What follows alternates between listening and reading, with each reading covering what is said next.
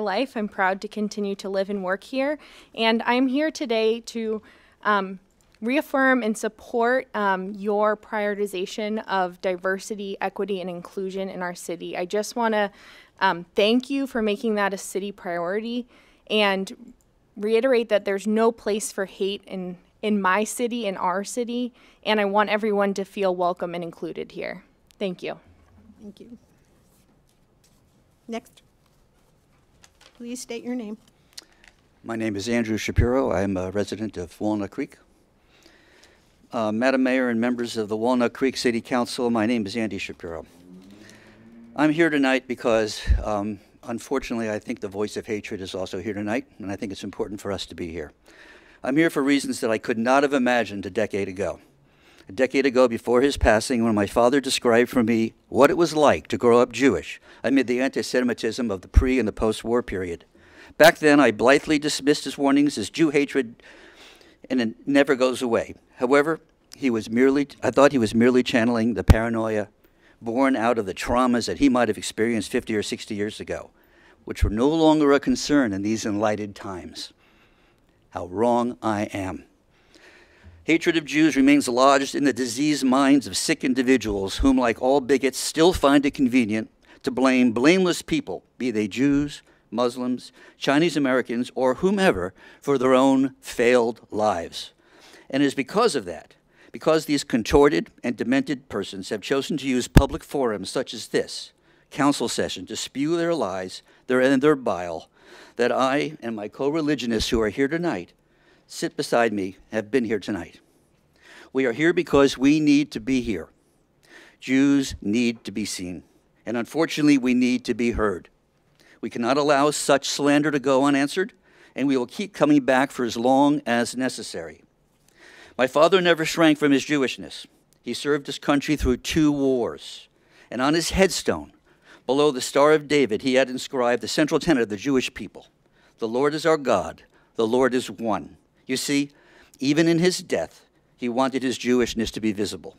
I and these others who are here today for that same purpose. We are Jews. We are proud to be here, and we plan to remain very visible. Thank you. Next speaker, please. Right. I'm uh, Arvind Malia. Uh, Mayor Haskew, members of the council, thank you for the opportunity to speak tonight. I'm Arvind Malia. I live at 1045 Alfred Avenue. I lived in Walnut Creek for 30 years. I thought I'll get a little more than two minutes of the time here. uh, so I lived in 30 years uh, in Walnut Creek, seven years of utter misery during the last East Bay Mud expansion project. So now they're expanding it again.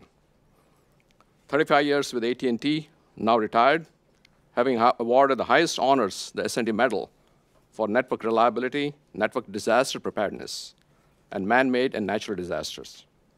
Currently working on the Department of Defense on a classified project uh, to do with economic, social, telecom, power, water infrastructure, disruption and mitigations. Uh, so this East Bay Mud project right now is a disaster in the making. Uh, none of the impacts of these uh, expansion are discussed in that EIR. This is a facility located at the top of a hill with only undivided Larkey Lane, no sidewalk, T-junction, with a stop sign all the way to the freeway.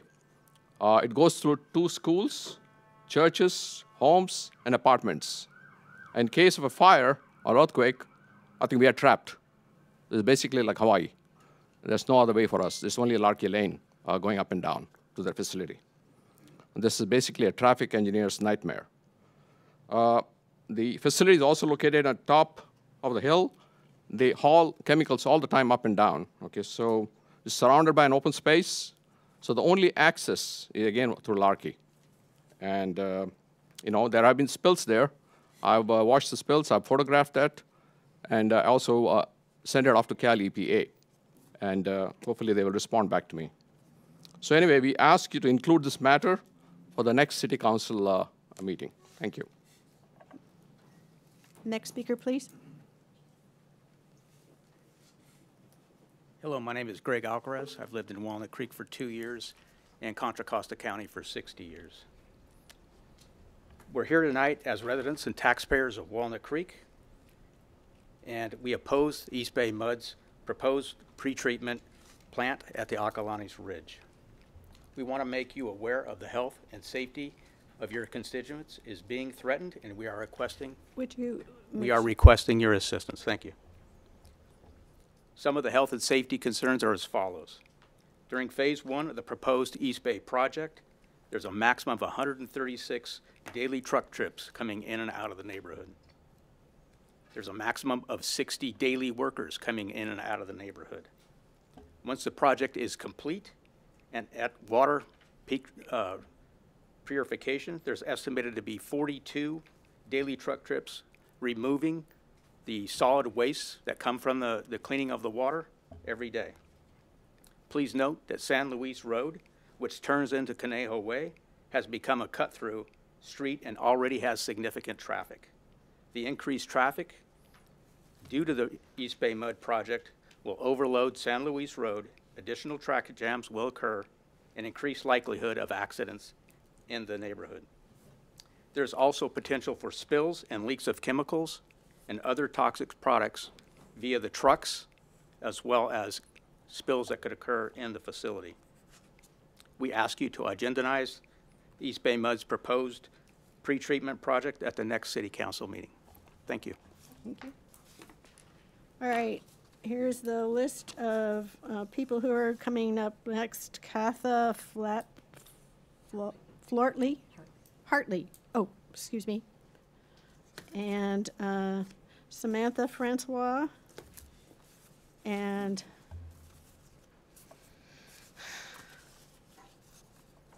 Luz Gomez. And Norman Matloff. Please start. Hello, my name is Katha Hartley. I have lived in Walnut Creek for nine years happily. I'm here to thank the Walnut Creek City, City Council for governing this beautiful city with such care and dignity and respectfully. I want to commend the City Council for upholding the Constitution of the United States, especially the First Amendment, by allowing and inviting people to speak here in your meetings. I commend our city council for patiently and respectfully allowing what I consider cowardly, hateful attacks on our Jewish community by people, my guess, who have never lifted a finger to help our community or to enhance the dignity of the people who live here. I want to thank you for the dignity with which you conduct yourselves and your meeting. Most Walnut Creek City, city, city or Walnut Creek citizens understand the great value of our diverse community. I recall from history and my own experience as a young girl in Chicago, where I lived in an Irish Catholic Jewish neighborhood and we celebrated each other's uh, wonderful holidays. But I remember experiencing the hatred that my best friend Arlene Malkin and her family experienced from people outside who hated Jews. This is 1947, two years after the, we, we know, knew everything about the Holocaust. Uh, remember in, in New York, 1939, 20,000 American Nazis gathered. They were defeated. And I believe that the people of Walnut Creek will defeat any kind of anti Semitism, any kind of anti other behavior or rhetoric here. It's cowardly. And certainly, again, I thank the City Council for the wonderful work you do. I love the city. I'm so grateful to be here. So thank you for, for everything that you do.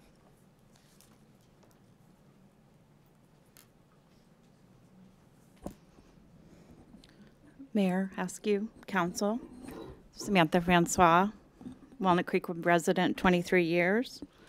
Never in my life did I think my city would be subject to racism and hate. Standing with my Jewish friends and neighbors and anyone who is othered in our community, um, standing against hate. There are lots of places that need help, lots of places that people, instead of driving here for two hours, could go and volunteer instead of driving here and spewing hate for two hours, could go and volunteer. I just don't understand it. We have literally fought a war over this. My great uncle did not sustain an injury at Normandy to see this happen again, and I will not stand by to see this happen again. Thank you.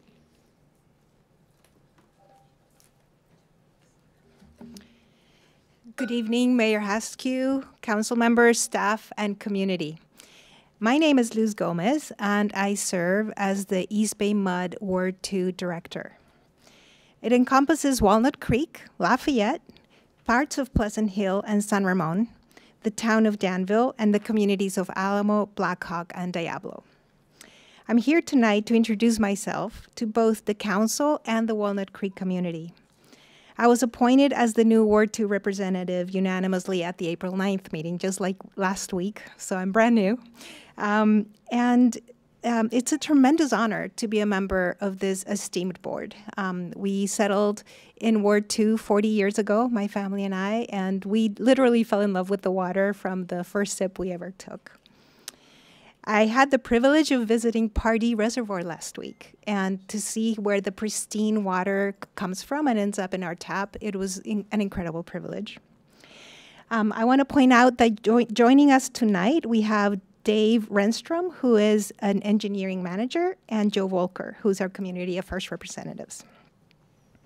So, as the newest member of the East Bay Mud Board, I'm eager to ensure that Walnut Creek continues to receive the excellent service and water quality that you have been used to receiving all this time.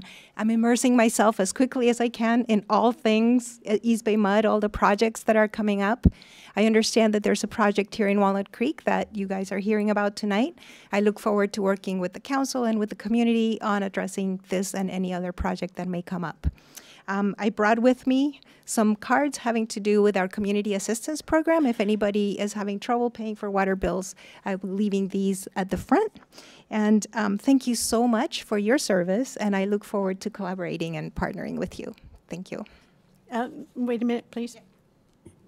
Thank you very much for being here this evening and congratulations. I watched the interviews last week and I truly thought you demonstrated a real understanding of our communities and the issues that we face, whether they're sustainability or water quality or the challenges of infrastructure redevelopment and continuing for the future.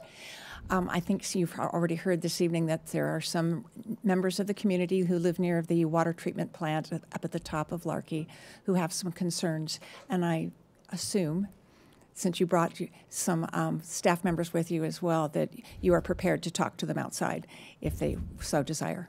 Absolutely. Yeah. Great, thank you so much. Thank, thank you, Councilmember Silva. You're welcome. Um, We, we will also finish with the public comment and then maybe have the meeting with, with the people of concern out in the hall then? Would that be, Yeah, I'll be outside waiting. okay. Yeah, thank you. Okay. And anybody that wants to can go and talk to her now, please. All right, um, oh, sorry. Uh, My name is Norman Matloff. I've lived in Walnut Creek for 37 years. Uh, We live very close to that East Bay mud plant.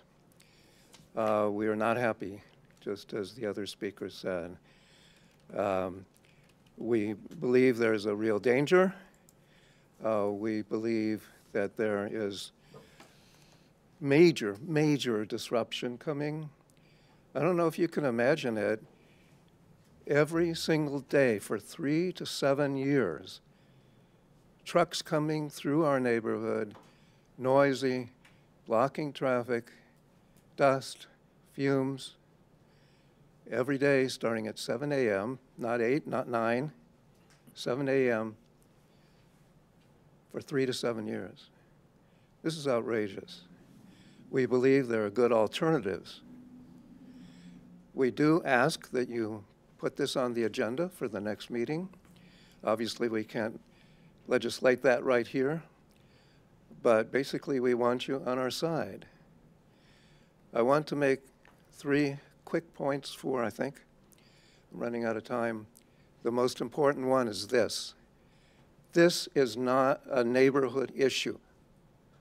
It affects all of Walnut Creek. Don't dismiss it as a neighborhood issue which we've already heard from city staff. Okay? If up there, up above our houses, there is a disaster, everybody in Walnut Creek is going to feel it. You're not going to have any water. There's not going to be water here in City Hall. Okay? Second, why so late? The uh, final EIR is due in June. Okay? Well, I'll tell you, most people in our neighborhood don't know We know that because we've been canvassing. And everybody we talk to, this is news to them. Thank you. Okay. Yes, All right. you, you'll have a Thank you. chance to talk to. I do um, agree with the speakers about Jewish. I'm Jewish. Yes, thank you. Um, Let's see, um, Emily Chang, Chris Palomo, Craig Devaney, and Norman Matloff. Huh? Oh, that's Norman Matloff. No, you don't get two, two chances.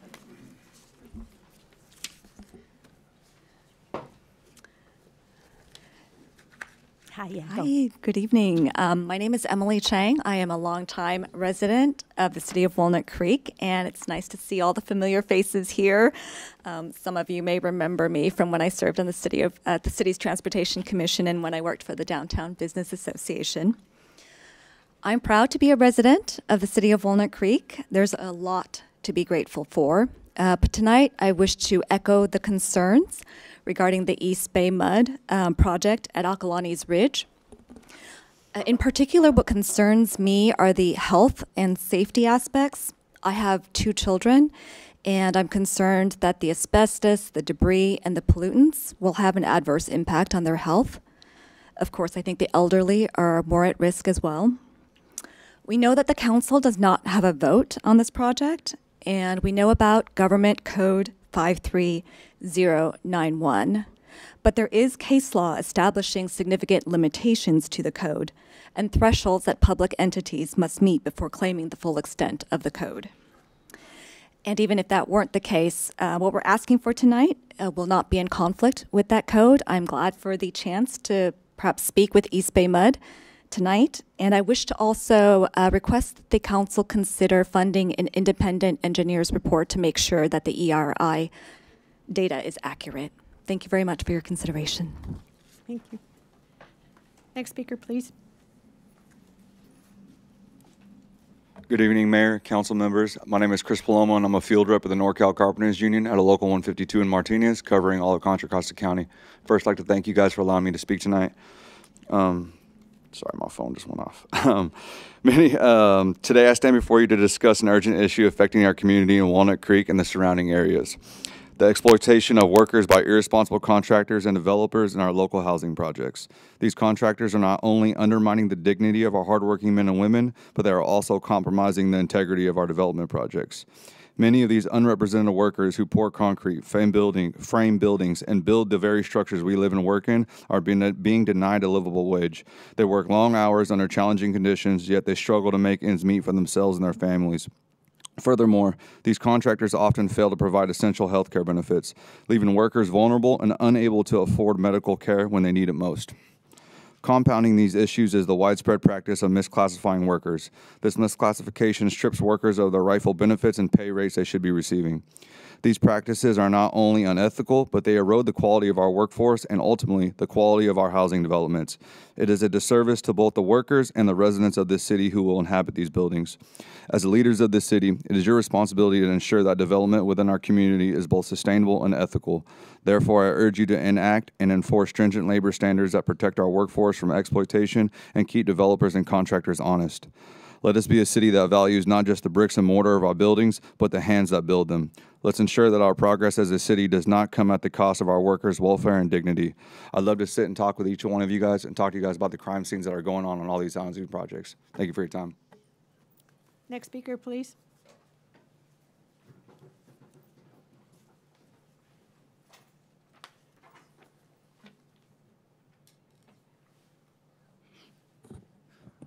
Hello, Mayor Haskew, uh, council members. Um, my name is Craig Devaney. I'm a longtime resident of Walnut Creek, and I'm here with my uh, family tonight. Uh, we'd like to address the uh, hate speech that's been uh, that's, that we've been listening to. we already live in a difficult time. We're facing unprecedented challenges like climate change and overpopulation. We need to be able to find common ground and common truth so that we can start working towards solutions. But in this age of the internet and social media, we are engulfed by misinformation. And instead of thoughtful, rational voices, it is primarily the complainers, the haters, and the most extreme voices that are amplified and propagated. At the same time, politics has become so divisive and extreme, we've lost our middle ground. Sometimes it feels like we're so divided and dissimilar. How will we be able to rise to the challenges of the day? And then in our own city council meetings, the ugliest, most ignorant, and toxic members of society stand here at this podium spewing hate, prejudice, and anti Semitism. These speeches are so disheartening, and in combination with everything else going on, could make someone lose faith in humanity. But after witnessing the response from our community, I've left with, I'm left with a very different emotion. I feel hope, optimism, and empowered. I was moved, I am moved, by the outpouring of support from this community. In response to the hate, we've heard messages of love, kindness, and empathy. I'm convinced that when faced with adversity, our better angels will prevail. This terrible thing has entered our community, and as a result, we've only grown closer, found common ground, and emerged from it stronger on the other side. Our goodness, our compassion, our empathy are our strongest emotions. And though we face many challenges, when called to task and faced with adversity, we will rise to meet the challenges of our day. Thank you. See, um, Ryan Masanu, um, Guy Starrison, and Alyssa Lawson.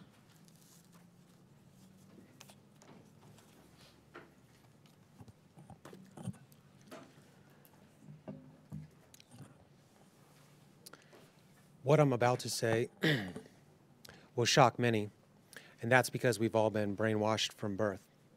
Time to take your children out of public schools and colleges, throw away your television, stop watching movies, stop listening to the radio, stop reading newspapers and magazines, and get off social media except for Gab. Television, radio, and movies have been run by those who follow the Talmud since they were invented. My website is misanonews.com. I also have my own radio show, uh, Ryan Misano show on Speak Free Radio. So if anyone has a problem, come on my show. I'll, I'll listen to you.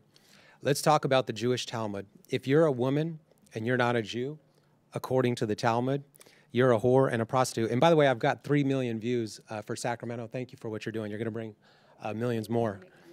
If you're a woman and you're not a Jew, according to the Talmud, you're a whore and a prostitute. If you're a man and not a Jew, you're an animal and a beast. The Talmud says the best non Jews deserve to be killed. It also legalizes child molestation, homosexuality, murder, lying, cheating, stealing, deceit, transgenderism, and much more. Now we have five vict- or four victim groups in America listed in order you cannot criticize them. First are Jews, and you could tell. Se- thank you for the demonstration. Second are homosexuals and transgenders, and I see the rainbow flag. Third are non-whites. Fourth are women. The media says white men are racist, but any mistreatment of whites cannot be racist. Of course, the response of Jews when you criticize legitimate Jewish wrongdoing is to holler Holocaust. Now, whether it happened or not is worthy of consideration, but let's give our Jewish friends the benefit of the doubt. If the Holocaust happened, Jewish communism also happened, murdering 100 million. So why do we constantly hear about the 6 million alleged victims of a Holocaust, but rarely about the 100 million murdered by Jewish communism? Because Jews control the money and media, that's why. Talmudic Jew bankers took control of America in 1913 with their bogus Federal Reserve Act and the 16th Amendment income tax and 17th Amendment. I'll end there. Thank you.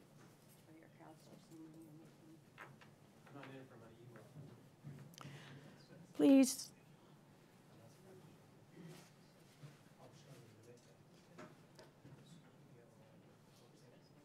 There were, there was another speaker. Mayor, uh, city council members, I know you've seen me here before. I'm here for a reason. I'm here to encourage the city workers as well as people in the community to carry Narcan.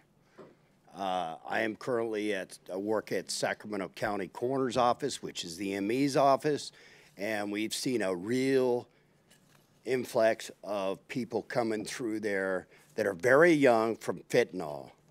And Walnut Creek's a beautiful city, and there's no, you guys really don't have a lot of problems, but drugs are funny. They come under the radar. A lot of people don't think that these homeless people are doing fentanyl, and they don't, and they think the normal person, eh, you know, you would think would not do it, but it is a killer and it's rampant all over the state of California. I encourage your city workers that work for Public Works or any of those departments that carry Narcan. The police carry Narcan. All of you guys need to carry it because you could save somebody's life, seriously. There's a lot of people going through the ME's office right now that are very young, and it's very sad, and it's because of this problem with fentanyl. So I encourage you people to possibly get the city to take a budget and buy Narcan. It's very inexpensive. You don't need a prescription for it, and you could save a human person's life. I would appreciate it if you, in your agendas moving forward, that you could possibly uh, talk to your city workers about it. It's very important. We need to save lives. Too many people are dying. Thank you. Yes, Alyssa, is that you coming up? Yes. Elisa Lawson, good evening. Uh, Walnut Creek resident since 2011. I just moved from an unincorporated area to an incorpor- uh, incorporated area, and I chose to stay in Walnut Creek because I love this city so much. I hate public speaking. I should sorry, I should not use that word tonight. Um, I dislike public speaking, um, but I was motivated um, because I, I really am um, upset about the the hate speech that we've been hearing. I just wanted to stand tonight and say that I am in support of a community in Walnut Creek that is inclusive, diverse, uh, equitable, and I appreciate your efforts. Uh, I have another card from Lynn Finger.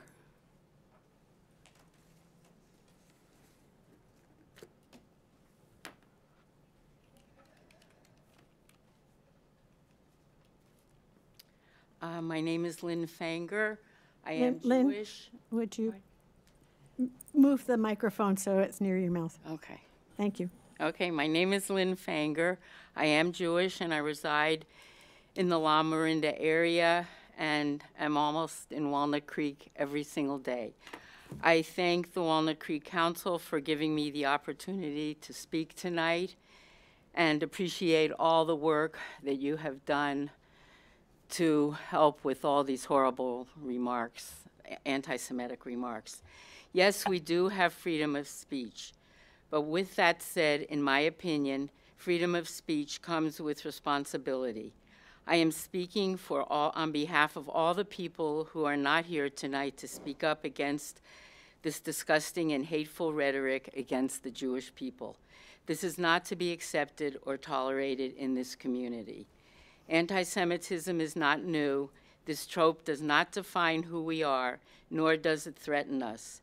It is unnecessary harassment by a stupid group of people. We do take this seriously because we are a minority and the highest targeted religious group. This is a call out to stop all kinds of racial hate.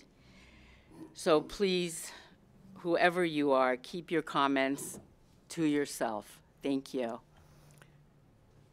Anybody else? We have one minute left for public comment. Yes? Don't forget to fill out a card before you go home. Go, well, come. Hi, um, my name is Erica Beth Dahl. Go ahead and record me because you've recorded everyone else. And I just want to say that, um, you know, I live in Concord, but I lived in um, the Bay Area, Alamo, Walnut Creek for many years. And um, I was horrified when I found out what happened specifically, I guess it was in fe- February, to a wonderful man um, and council member, Mr. Wilk, who I had an honor to meet the other day. And I am here to say that I will be here and others in our community who will continue to stand up to this vile display that does not represent who we are as a community. Regardless of me living in Concord, I feel this is my home too. And we are all community members together. And just one last thing I want to add there's some heavy research that's being done by some of my colleagues who are working on this effort and on other efforts jointly, and come to find out that members, such as the man who stood up before to make a spectacle, they actually make money off of doing this by go uh, go fund me sources on the dark web you you I'm not being interrupted. I am letting you know that that is actually true And we have receipts to show that. And maybe my next time I come to speak, I'll talk more about how when the videotaping goes on for themselves and for others, they make money off that on the dark web. All right, it is the end of public comment. I have a comment to make. Every council member has taken an oath to follow the Constitution, including honoring the First Amendment rights afforded to us all. Nevertheless, the speech today, full of threats and inappropriate language, um, in my opinion, borders on yelling fire in a darkened theater. While under the letter of the law, you may have the right to be disruptive, disrespectful, and dreadful, dreadful to listen to, but we have the right and obligation to vehemently disagree with your comments and choose not to be bullied and instead focus on communications that improve and bring progress to our city. To be clear, the council strongly disagrees with and condemns your comments. Um, thank you all for showing up, and um, I have Kevin, please. Thank you. Thank you, Mayor. And I appreciate those comments, as does the entire community Jewish, Muslim, Black, LGBTQ, everybody.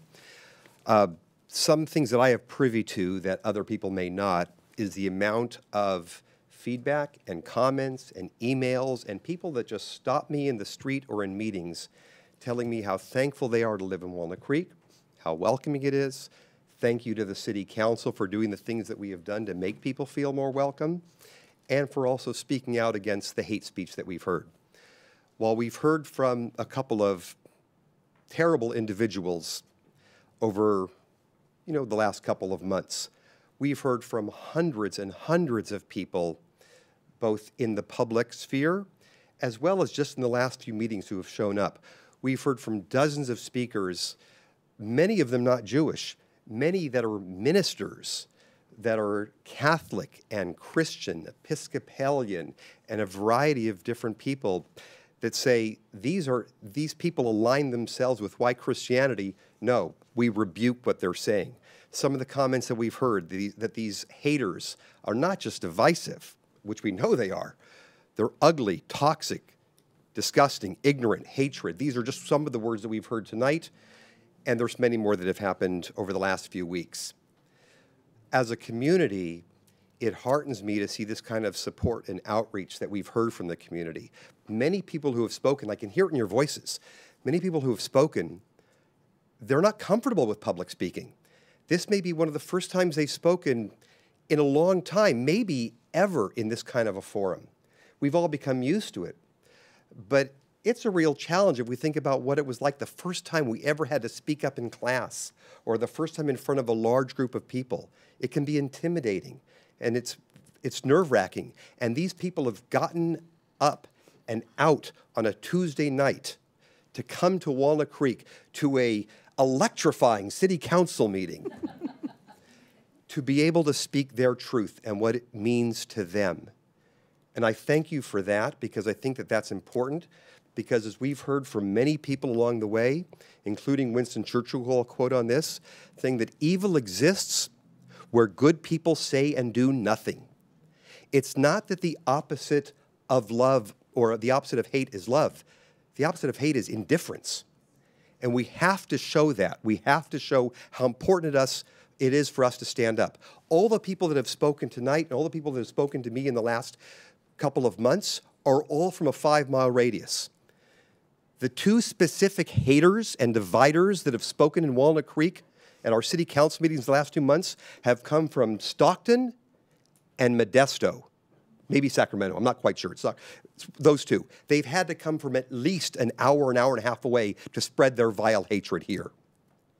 And we have shown that we are better than that as people, that we are better than that as humanity.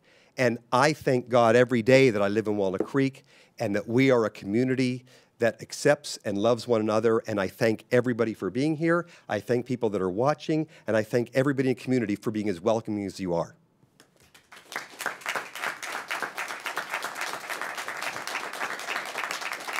All right, whoa, whoa, whoa, whoa, whoa, whoa, we don't, I'm sorry, I was, I was otherwise occupied. Um, we don't clap in this, that, that is not appropriate. Um, I guess you can do that. Um, this is a business meeting and, and we intend to run it like a business meeting.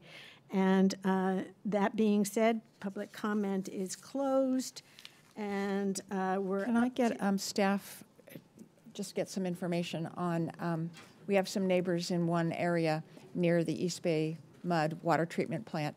And could we get clarification on why we are not taking this up at the city council level and what our level of authority is? Yeah, In, in English, not lawyerese, please. I can provide some thoughts to the council. Um, so the the city is under by state law does not have jurisdiction over this project as East Bay MUD's facility is a water treatment facility and by state law, um, as one of the speakers mentioned, under the government code, um, and by Attorney General's opinion, conclusion that the city does not have jurisdiction over that project. And as is East Bay MUD is the agency that's undertaking the project, it is also the lead agency on the environmental document. So it has the responsibility to approve, uh, prepare, review, and certify the environmental impact report. Um, the city can comment on that report, and the city has done that um, prior to the public comment period closing. Um, and so, um, you know, the city has taken steps to, to review and respond to that comment on that environmental analysis. But otherwise, the city is not. Um, it's not within the city's jurisdiction to issue a permit, a CUP, or building permit, or otherwise. Thank you. Any other comments before we move on to the next item? Seeing none, uh, we are up to, I'm looking at the closed session, thank you. I started to say that. Uh, Closed session announcements, are there any? No announcements, Mayor. Thank you. Um, City manager reports, and um, in case you noticed, this is not Dan Buckshi. This is Kevin Safine, who, um, who now kind of is also in charge of Arts and Rec Department. And before he opens his mouth, I'm going to, I'm going to bring the um, local news Sunday paper where there is a giant headline saying Arts and Rec expanding its adaptive inclusion programs. And two people who are very active in making that happen are here, one of which is Kevin Safine, our, our substitute city manager. So thank you. And um, Ms. Orcott, who also um, has been a mover and shaker in this whole thing. Now, Um, city manager report. Thank you, Mayor. I was just going to say what you already said, which is uh, I am not Dan Buckshi.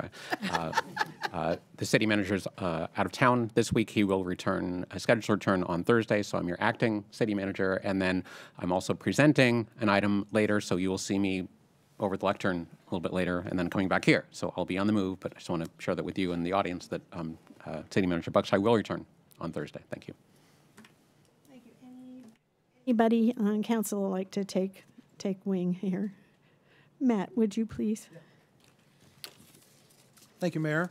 Uh, This morning, I had the pleasure of attending the State of the Chamber talk over at the Oakview Room at the library, where we were able to hear an update on the Chamber's strategic plan and also celebrate outgoing Chair Audrey G. and welcome back uh, incoming Chair Matt Gouchard. We had an interesting report from Visit Walnut Creek, that's our visitor bureau, a visitor and tourism bureau, and they had interesting statistics in terms of the economic development that happened as a result of a half marathon run that was scheduled in early March. I was signed up to run that race, and unfortunately, got canceled due to weather conditions on Mount Diablo. But uh, there, everyone had, was already in town for the race, and they had um, some good numbers at that that one race over that two-day event uh, garnered something along three quarters of a million dollars in economic uh, development uh, for the region. So great news on, in terms of sports tourism, and more to come on that. We also at that event celebrated legacy members of the chamber, meaning they had been members of the chamber for 50 years or more. I think that's right, including Cal Shakes, uh, Diablo Valley College, and CSAA Insurance Group. So thank you to them for being such valued business partners and members for many, many years. Uh, Then this, a- earlier this afternoon, along with the mayor, I uh, attended the Public Education Committee meeting, and we had an update on the Seat at the Table initiative, which is for our, uh, an initiative our Youth Leadership Commission brought to us two years ago now and asked us to do a pilot program where three youth members serve on our arts, transportation, and park recreation and open space. So those youth members now have served almost two years and have done a really fantastic job. I watched one of them in action at, at the Pros Commission meeting, and she was prepared and she had great comments and really contributed to the dialogue. So this will be a future council agenda item where we'll talk about the future of, of that program since it was a pilot program. And I believe that's coming back to our, to, it'll come on our May uh, agenda. And then finally, I attended the East, uh, the Economic Development Working Group Committee of the Chamber's meeting last week, where we had another report from the Diablo Valley Tech Initiative, which is a group of uh, business folks, city folks, entrepreneurs up and down uh, the 680 corridor who are trying to promote and garner new interest in development in tech and economic development within that region. And their first, their first initiative now, or one of their major initiatives, is gathering data on the industries that are here, the industries that we would like to hear to be here, the, our employment base, so that we can make strategic decisions going forward in terms of trying to be attractive places for new businesses. We also talked about the city's economic development action plan, which I know we'll get an update on at our next, or one of our future council meetings. The Shadelands rebranding project, which we're all familiar with, and then um, scheduling of a technical advisory panel uh, with the, the Urban Land Institute, which is actually part of our economic development action plan. There are a lot of words in all those words. Um, and that will be a focus study by the Urban Land Institute in conjunction with kind of our business partners here, focused on healthcare and the future of healthcare in not just in Walnut Creek, but in our region and how we can be well positioned to be an attractive place for additional healthcare development. And I think that's it for me. Thank you. Okay, I'm going to just roll right up. I guess that's me then.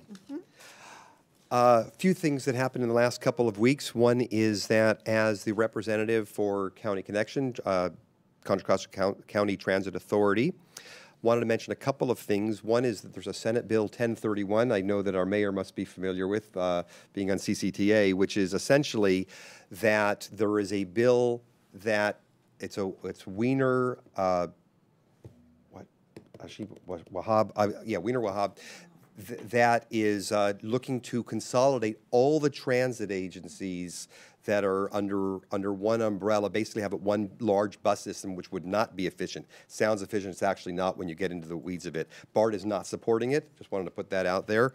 Uh, I was part of the group that went to Washington, D.C. last week to meet with our legislators, several different Congress members, DeSaulnier, Eric Swalwell, uh, Garamendi, talking about the grant funding that we're looking to hopefully continue to have the federal support on. There's a lot of different clean energy initiatives that we're working on when it comes to public transit, including electrification of buses, but also hydrogen fuel cells. And there's a large cost for infrastructure in that, but it's a cheaper cost afterwards. So there'll be more to come on that, but that grant funding, of course, is always going to be necessary to be able to get get the bus rolling, so to speak. Uh, I did want to mention that there's the Bedford Gallery opening that I was at this last weekend, Rediscovering Native America. And I've got, to be honest, I just don't know that much about the Native American culture. You know, it's interesting. I, I think in fifth grade they teach that, but oddly enough, I've been around the world and I haven't really, I don't think I've ever even been to a, a reservation in America. And seeing all these art that's there at the Bedford Gallery really makes, me want to go out of my way and get to a reservation to really see what's going on there as well. But it's fascinating. So I, I definitely recommend uh, visiting that while it's still open. I had the opportunity yesterday to meet some of the most enthusiastic people I have ever met in my life. I spoke at the Tice Valley School first grade class. and there was nothing like seven year olds that want to ask every question under the sun. And it wasn't just about, hi, who I am. It was more about they're looking to try to be, have first grade involvement in their student council. And they wanted to ask a council member, how can they make that argument and why is it important to be part of the decision making process? So I was happy to have that conversation. And the first time in my life that I ever said, I've been a representative of yours in Walnut Creek for their entire life. I haven't had that opportunity before. Uh, and then we have the Cal Cities Leaders Summit in Sacramento this week. I believe a couple of my council members are going with me on that one. And uh, this Saturday is Earth Day. It, uh, and Walnut Creek is celebrating that in Civic Park. A few of us are speaking at that. It starts at 11 o'clock. Not sure when it goes until. Is it 3? Mm, I think It's four. 2 or 3, but come at 11. That's my report. Thank you very much. Um, just to build on what you said about the Bedford Gallery exhibit, it is a photography exhibit. It is beautiful, and it's running through June 23rd. So you have a few weeks to get in there because you could spend two to three hours just studying and reading the um, placards on each of these photographs. And it really is reflective of all of, I would say, west of the Mississippi River. So you can see um, people who are from uh, tribes out of the Lakota tribes out of the the, Nor- the Dakotas and the um, Colorado and New Mexico and Arizona and the Pacific Northwest. So it's really interesting and really informative and beautiful photography. So check it out. Um, Council Member Francois and I represent this council on the board of the Central Contra Costa Solid Waste Authority, which is euphemistically known as Recycle Smart. We take care of the trash, the recycling, and the organic waste.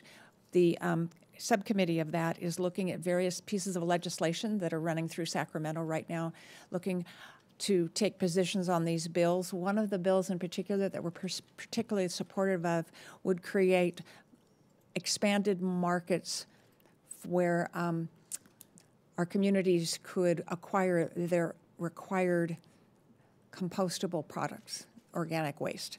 We have a big requirement as a community to basically purchase and use mulch that has been um, through the organics processing, and so we're very supportive of that. Also, what's happening is there are a number of pieces of legislation that, in an attempt to reduce waste, are really seeking to make um, the producers or the manufacturers of products that are difficult to dispose of to be responsible for the end of life.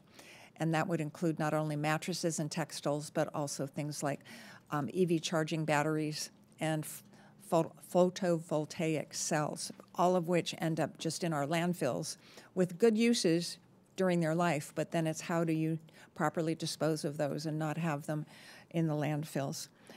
I will mention that the Association of Bay Area Governments Executive Committee is meeting this Thursday evening. I'm a member of that board, and we will be having a robust conversation about the possibility of putting an affordable housing bond package on the ballot in, in November 2024. This would be for the nine counties, and it would generate billions of dollars to reinvest in affordable housing across the nine counties. So stay tuned for more information on that.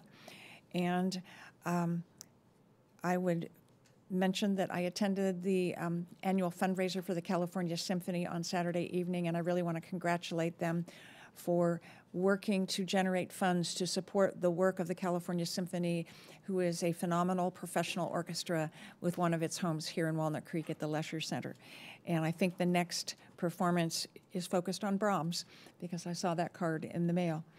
And um, finally, I will mention that Community Service Day is October 12th. That's a Saturday, 2024. And the recruitment project for projects. So we first have to find local groups to sponsor projects, and then we turn around and now, once we get a catalog of projects, then we turn around and recruit volunteers. So we're looking for nonprofit schools, other public agencies, sports teams, um, service clubs, and the city, of course, to um, create projects for this year. Again, Saturday, October 12th. Be sure to mark your calendars. Thank you, Mayor, very much. You're welcome. Okay, so I won't repeat the Bedford Gallery smashing exhibit, uh, State of the Chamber, interesting, lots of data. Um, I did want to talk about um, the mayor and I, and I think Councilmember Silva showed up at, um, for the Habitat for Humanity. We got to welcome some of the new families. Oh, and Kevin was there too. Yeah, you weren't there. Yeah.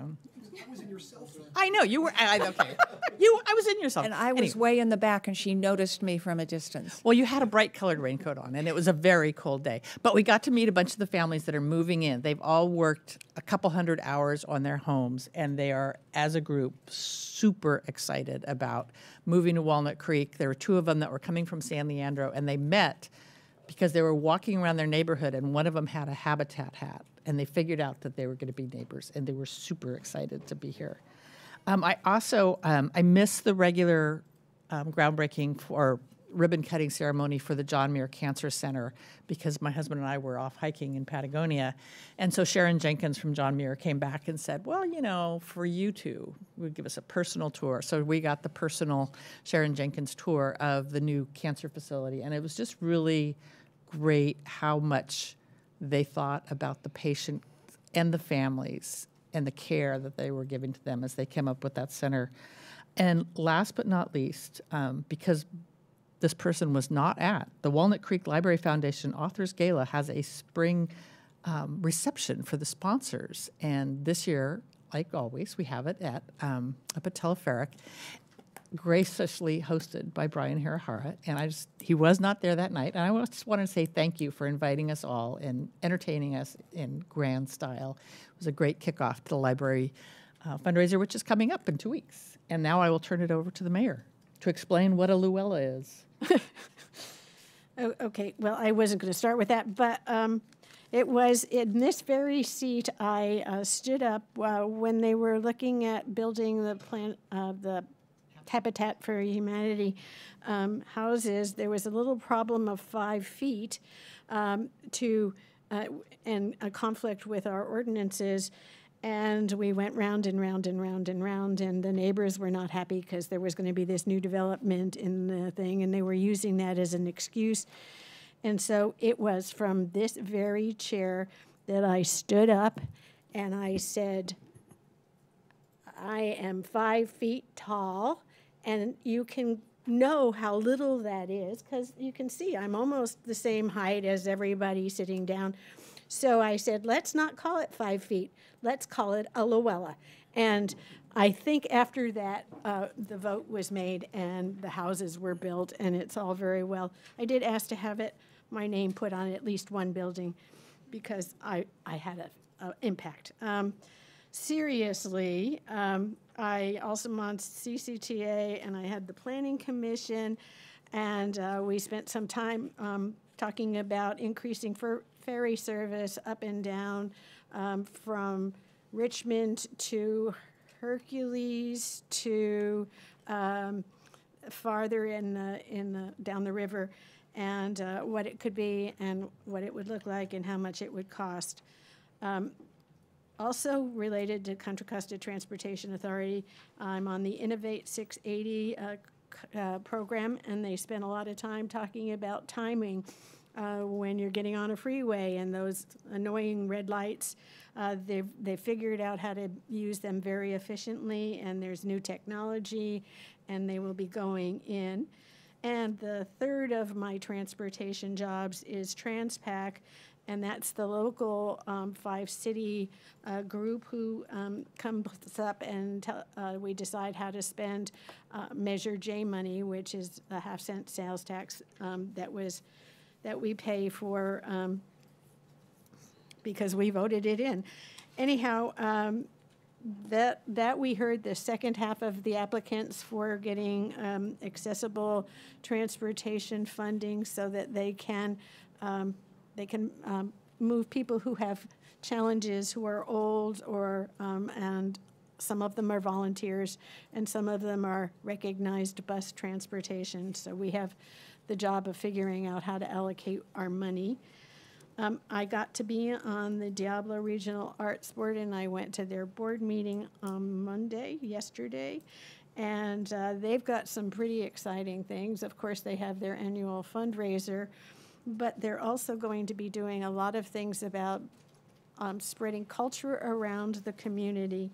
And uh, they have a, a floating well, floating, it's a truck um, that, that drives around and, and, and there can be performances at schools and other places so that we can reach out.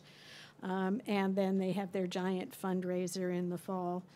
Um, I, I, we, we presented some awards for our employee recognition, but I also want to say that we recognized people who have been with our commu- our, our staff um, from five years uh, to 25 years, and it was impressive. And it warms my heart how really dedicated our staff is at delivering services and taking care of our community. So um, I believe that's it, and I have had an indication that somebody would like to take a 10-minute break. So before we get on to the next two items, we will take a 10-minute break. I'll see you back here at 7:35.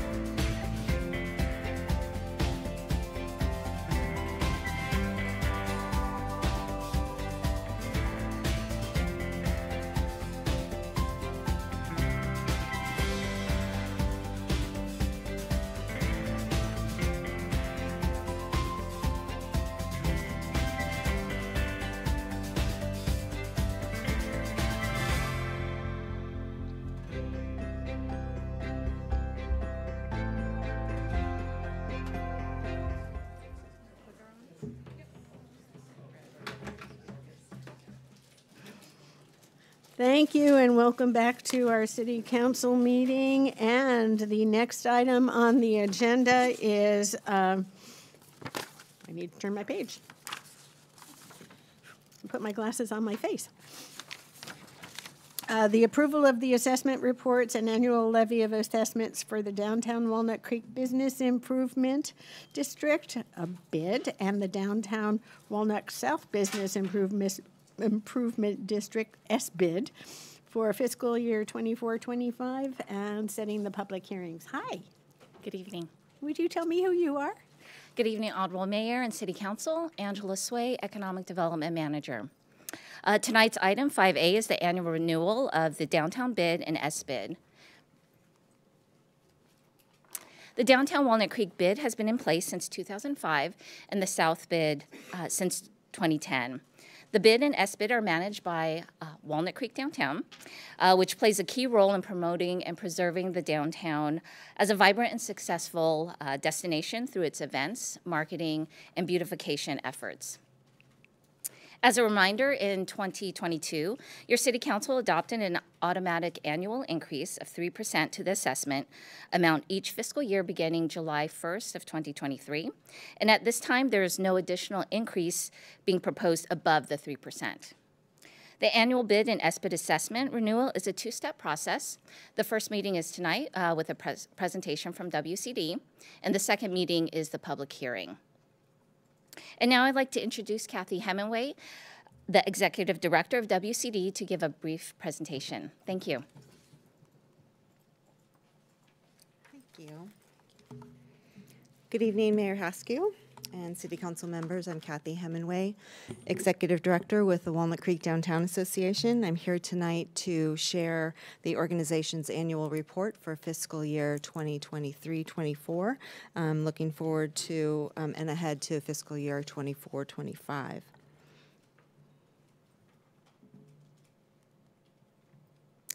The Walnut Creek Downtown Association is a nonprofit um, made up of 680 um, downtown businesses. Um, the map here shows our district boundaries, um, and the bid and the south bid encompass 29 blocks of the downtown. Walnut Creek Downtown leverages the bid assessments to uh, the bid assessment fees to increase the visibility and vitality of the downtown. And these funds, together with sponsorship, support, and event uh, revenue, pay for a wide range of projects and activations. And Walnut Creek Downtown um, Association acts as an advocate on behalf of um, our business members uh, through beautification projects, special event production, coordinating um, marketing and professional development opportunities for our business members, and member advocacy. This is a list of our board of directors and current staff members. Our board um, directors participate in a variety of committees as well um, to help engage with their constituents um, through programming and um, their constituents, programming, and staff. And our staff currently consists of three full-time members and then um, three part-time employees. And we just recently welcomed um, a part-time intern from DVC. So Stephen Doe now has joined our team. Our member advocacy efforts uh, are accomplished through a variety of ways that are listed here. Um, a couple of these items to note um, include the development of a vision plan that we've been talking about. We're just about to sign, um, hopefully, with a, um, an agency to assist with um, creating a vision plan that will create goals and uh, tangible tasks to enhance the downtown business district and the organization through focus groups, memberships, and um, resident outreach. And then Another item of note is that Walnut Creek Downtown um, has a is a member of the California Downtown Association and the International Downtown Association. So both membership organizations provide programming, organizational, and networking benefits for our staff to uh, to connect with professional place management uh, leaders throughout the world. Um, so I personally sit on the CDA board of directors, and um, recently um, participated in a lobby day up in Sacramento, um, where we attended the Downtown Recovery Committee hearing, followed by meetings with state senators and assembly members um, discussing topics such as retail theft, clean and safe, and entertainment zones all while representing the priorities of the downtown business community. And these are examples of our community programs that are occurring for one to six month timeframes. The uh, downtown stages, arts around August, painted pianos. We've got painted pianos. Actually, will be a new set has been delivered. As you may see, they'll be painted this Sunday. So more to come for the 24 um, season. And then I'd like to highlight two programs funded by the Measure O Sales Tax Initiative. Um, additional programs that we've um, managed throughout the year include the inaugural year of uh, holiday decorations throughout the downtown. So those um, those efforts were funded by Measure O to help brighten the downtown with seasonal um, decorations and lights. And then another project is the Big Belly Wraps. So we've been working with the city's um, public art manager and the Bedford Gallery staff um, on this project, um, which will install artistic images onto over 50 uh, Big Belly units within the downtown. So we'll soon be conducting a public artist call and plan to complete this project in early uh, summer and annual programs that include our annual programs include business networking and annual public events. Um, the very popular um, Walnut Creek Uncorked will take place uh, again in June this year, and then also um, the the Broadway Plaza Summer Concert Series are always a very popular um, program that takes place in August. And these are highlights of our late summer and fall uh, events. And this past year, we um, had the return of Oktoberfest to Civic Park East, which welcomed over 12,000 guests. A winter highlight um, was the return of the Civic Park Holiday Tree Lighting Ceremony, which was attended by over 200 guests and um, the return of Walnut Creek on Ice for its 19th season welcomed 23,000 skaters, and a new rinkside experience with fire pits um, that was added to continue the to enhance the visitor experience. This is a snapshot of this year's um, marketing statistics. And in addition to a very successful digital campaign um, in 2023, we coordinated co op ads providing special rates for downtown business members to advertise in Diablo's weekly A list. And then we also created an, a co op ad for the East Bay Women's Conference featuring eight downtown restaurants promoted to all attendees before and during the program. And this slide shows, um, moving into our finance, financial review, this slide shows the um, final budget for fiscal year 2023-24 and the projected budget for 24-25. You'll note there is a small deficit for um, this past fiscal year. However, our current sa savings can cover that amount. So I wanted to point out too, with the next couple of slides, they will include the past year's comparison using uh, numbers from uh, 22, 23. So our, currently our um, AR total for the fiscal year 23-24 is approximately $11,000. Just kind of take that into account. And a couple of notes um, on this table. The reimbursements portion um, includes items that were purchased in advance by Walnut Creek Downtown, with the largest expense being the holiday decorations um, for this year.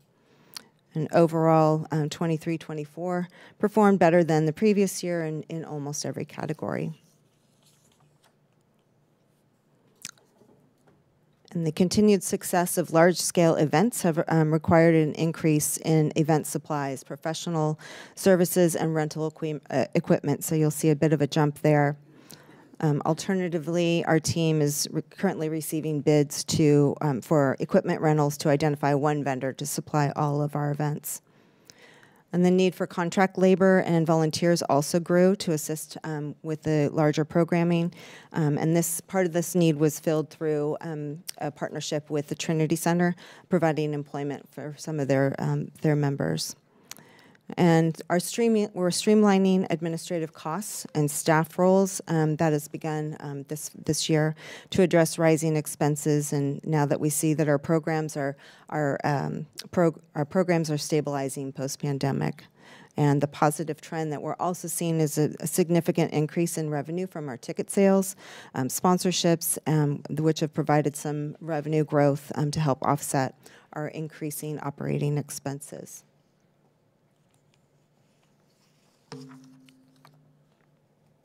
So our programs for the year continue to see a positive growth um, in for Oktoberfest, Walnut Creek on Ice, and First Wednesday. Um, and again, because of the sponsorship support and guest confidence, which has continued to, to slowly come back post pandemic. I've listed a few highlights here for the proposed 24 25 budget. Um, the assessment review is projected to be $303,000. $100,000, resulting in a net uh, income of approximately $273,000. In, uh, and we anticipate uh, maintaining uh, general marketing and payroll expenses in the year ahead after we've invested in these areas over the last two years as we've been rebounding from the pandemic. This is just a table of the assessment fees um, reflecting the 3% increase. And then we are excited to share a full slate of programs for 2024, bringing thousands of visitors to the downtown. And uh, due to popular demand, we'll see two First Wednesdays that will occur in 2024. Um, last year's event was a great success, and we're going to be hosting um, the first event on May 1st and then the second on August 7th. We'll be bringing this program um, to Locust Street, so expanding that beyond our um, Cypress Street um, footprint, which um, was definitely busting at the seams last year. So we're hoping for a cooler um, day because last year was beyond. Um, and we're um, excited to be able to um, work with the city on um, Locust Street as they're wrapping up construction. We're going to be um, taking over Locust Street for a little bit to bring some fun to that that street. Um, Oktoberfest, um, this lists a, some efforts to update and fine tune this year's program, which is scheduled for uh, September 27th and 28th. And the 2024 um, season, event season kicked off with the Spring Fling, which many of you may have um, either attended or seen had seen many kids running through the downtown. So we co-hosted with the Walnut Creek Education Foundation, um, and they were are celebrating their 40th anniversary year, and uh, they asked us to assist with bringing back one of their more popular events. Um, kids of all ages participated, families participated um, by performing in choral groups and bands sharing their artwork on um, city sidewalks, volunteering as guides, and um, as event support. Oops, sorry, I want to go back real quick and address summer arts in Walnut Creek. We're going to be tweaking um, arts around August to include a um, a three month program or expand to a three month program. So, all the arts programs occurring between June and August will be showcased as a rebranded program called Summer Arts Walnut Creek. We'll be um, the marketing guidelines will be um, sent to all of our partners to implement within their own collateral. Um, we're featuring a new logo that should be done within the week, and then program dates and information will all be uploaded to our um, website calendar um, to be, again, used as a main resource for um, information. And then our staff will be assisting with the marketing coordination, and the um, Arts Alliance group has decided to move beyond um, uh, um, employing a coordinator. So our team will be dividing up those duties. And then the ice rink, real quick, um, we'll be back um, for um, hopefully a little bit longer season. Um, we are reviewing um, some different alternative a few items that we hope to expand um, the to the venue, which includes beer and wine service and potentially a new um, features for our younger, even younger kids to enjoy. So more to come on that. I did want to note that um, we will not be hosting um, the Spooktacular um, Trick or Treat event um, this year. Our team, the last couple of years, our team has partnered with the Arts and Rec staff to produce the Boo Bash Halloween event, um, and it's become one huge event within the downtown. And while the Trunk or Treat event in Civic Park continues to grow and thrive. excuse me, we've all made the decision to discontinue producing the Spooktacular Stroll, which goes throughout the businesses. Um, we found that a six-hour um, Halloween event within the downtown just wasn't as effective as the three-hour um, event within the park um, that also accommodates three to four th- times the amount of people. So while this this decision does eliminate um, a one of our longstanding programs, we are definitely committed to supporting um, the Arts and Rec Department with pr- promoting their or supporting the Arts and Rec Department with promoting their program and engaging downtown businesses so they can still have a, um, a place at the trunk or treat. And then a um, new effort in 2024 is to create a 501c3. The Community Partnership for Walnut Creek Downtown is going to be a new endeavor for our organization. Its, its mission is to develop, support, and promote artistic, cultural, and public events that benefit businesses, individuals, and stakeholders within the service area of downtown Walnut Creek. Um, an application is in process, and um, we will keep you posted on um, the developments of that um, new endeavor. And overall, um, we are continuing to streamline our efforts, our administrative and marketing programs, um, which now are resulting in a savings of approximately $10,000. Um, one of the efforts we um, have been able to identify is upgrading our, our website, and we'll be able to provide more services um, and engagement for, to our downtown businesses. So that concludes my presentation, um, and thank you very much for your time and support, and I'm happy to answer any questions. Uh, Does anybody have any questions? Ah, I just have one question. I might have missed it, but was a movable feast on there? No, we are not going to return with movable feasts. We saw a, a very, um, a, a big Steep dip. drop-off? Yeah, yeah. Darn. A li- and it had a couple of a d- couple different things between the school um, calendar changing, um, and I just think that there was just a lot going on in August, which is great. But um, we have our efforts that are going to be concentrated elsewhere. Okay. But we appreciate all of the council members that led um, each of those um, evenings. They were very popular in that respect. Thanks, Kathy. Mhm. I'm not seeing any other questions. Um, So let's bring it back to public comment. Or, yes, is there any pub- public comment at this moment on this topic? Okay. Um, So we do, I'm bringing it back to council, and we do have some um, actions that we are expected to take. um, And that would be the uh, resolutions that are outlined in our agenda report. So who would like to embrace what the job is? I would like to move to approve the resolutions approving the downtown Walnut Creek Business Improvement District quote-unquote bid annual assessment report for fiscal years 2023, 2025. Also, the adopt the resolution approving the downtown Walnut Creek South Business Improvement District SBID annual assessment report for fiscal years 2023 to 2025.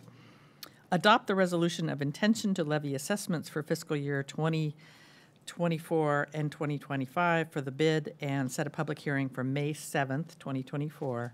And adopt the resolution for implementation to levy assessments for the fiscal year 2024 to 2025 for the S bid and set a public hearing also for May 20 7th, 2024. Second. Thank you. May I have a roll call vote? Mayor Pro Tem Darling. Aye. Councilmember Silva. Aye. Councilmember Francois. Aye. Councilmember Wilk. Aye. And Mayor Haskew. Aye. Motion carries unanimously. And we are all so happy that downtown is coming back from COVID. Okay, that finishes that, and we're on to the next item, which is the new aquatic and community center at Heather Farm Park. Action on aquatic sustainability and essential services options.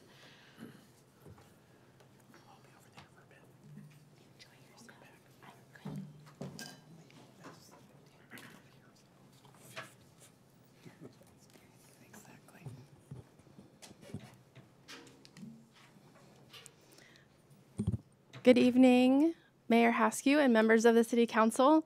My name is Janine Cavalli. I'm a senior planner here at the City of Walnut Creek. And I'm very much looking forward to presenting to you this evening on the new Aquatic and Community Center at Heather Farm Park. Um, I am joined by other members of our project team, including both staff and consultants who will be presenting um, alongside me this evening, as well as be available to answer your questions. And this is uh, the third in a series of meetings to present the schematic uh, design presentation package for the new facility. And tonight's meeting purpose is to seek direction from City Council on options for aquatics features, sustainability features, and essential services features for the new facility. And once we have that direction, we'll be able to move forward with the next phase, which is the design development phase. And that takes us into a little bit more um, detail uh, design and coming back to you with materials palette, landscape palette, and, and more.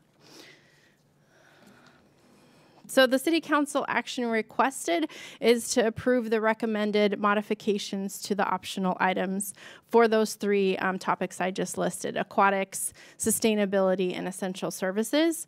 And um, I'm not gonna read all the details just yet. We'll get into more of the details for each of these three topics um, a little bit further into the, the presentation.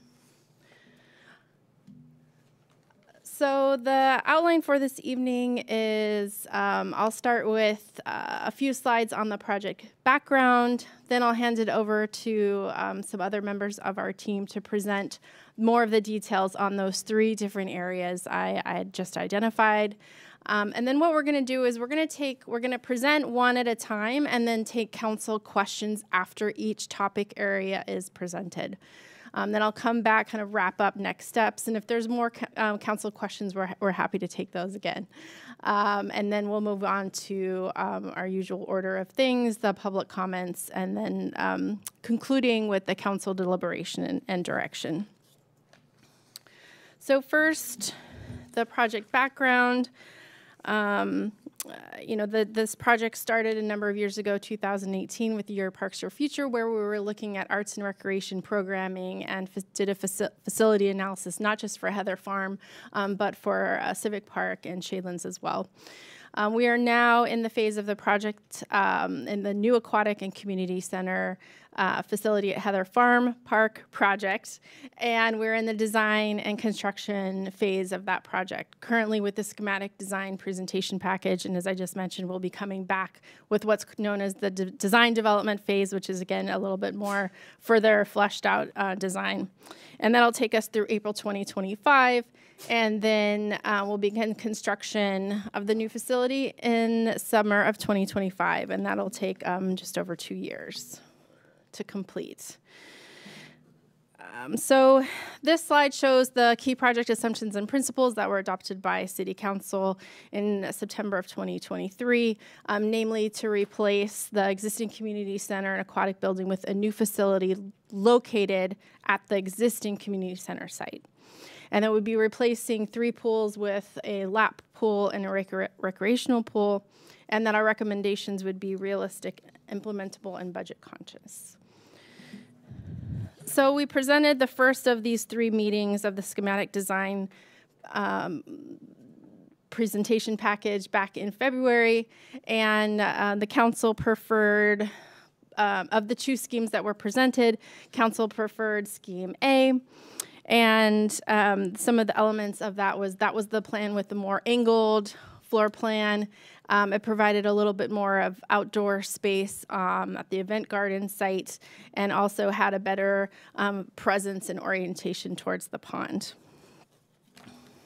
And this is a, um, an illustration of that scheme preferred by council and the design team are working on adjustments to the roof design based on the council comments from that meeting.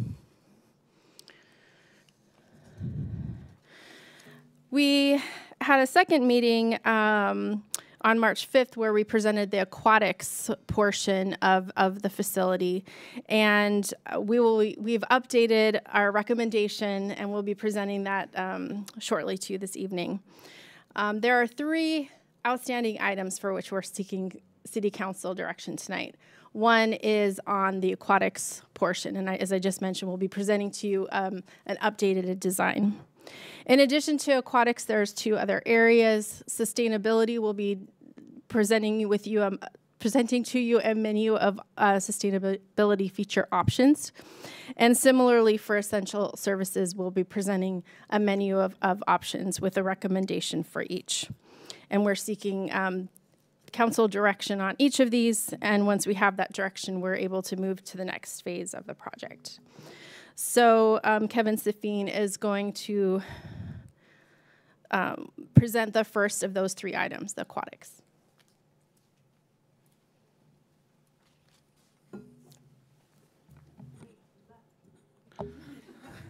There's someone who looked just like me over there.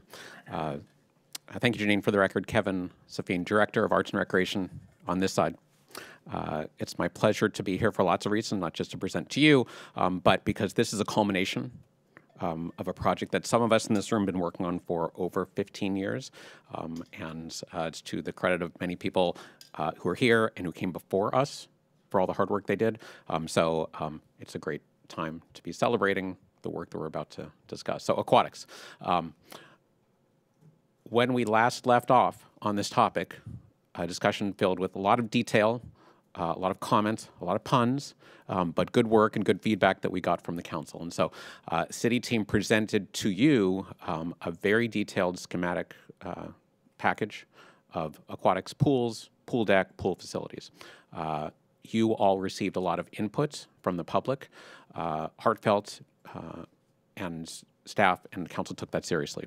So the direction that you provided to us was to go back and do a little bit more work with the Walnut Creek Aquatic Foundation, WCAF, uh, on how a revised design could potentially better serve the needs of all of the programs, not just the swim teams, but all the programs um, in the community. Uh, and you were very clear that changes, I'm going to read this, changes to design need to maintain a balance of programming opportunities and those design changes are not intended to support new revenue revenue generating events. Not intended. It could be that they support that, but that's not our intent. And so staff did that. And so we are proud to present to you what we did and how we did it. And so I'll come back to this slide if you'd like. I'm going to cover this information a few times this evening, so I'm not going to go into detail here, but I'm happy to come back to this. Uh, in sum, the changes that we made to the design on March 5th um, are to the 50 meter pool, to the recreational pool, and to the pool building, the bathhouse. Uh, to the recreational pool, there was the most of it, but I'll start at the 50 meter pool. Uh, the biggest change there is that we heard from the community that the design that we had at that time, March 5th, had a hybrid of lane, of lane widths, some eight feet, some seven feet. The change that you'll see is that all the lane widths are at eight feet, consistent. But in doing so, it means fewer lanes.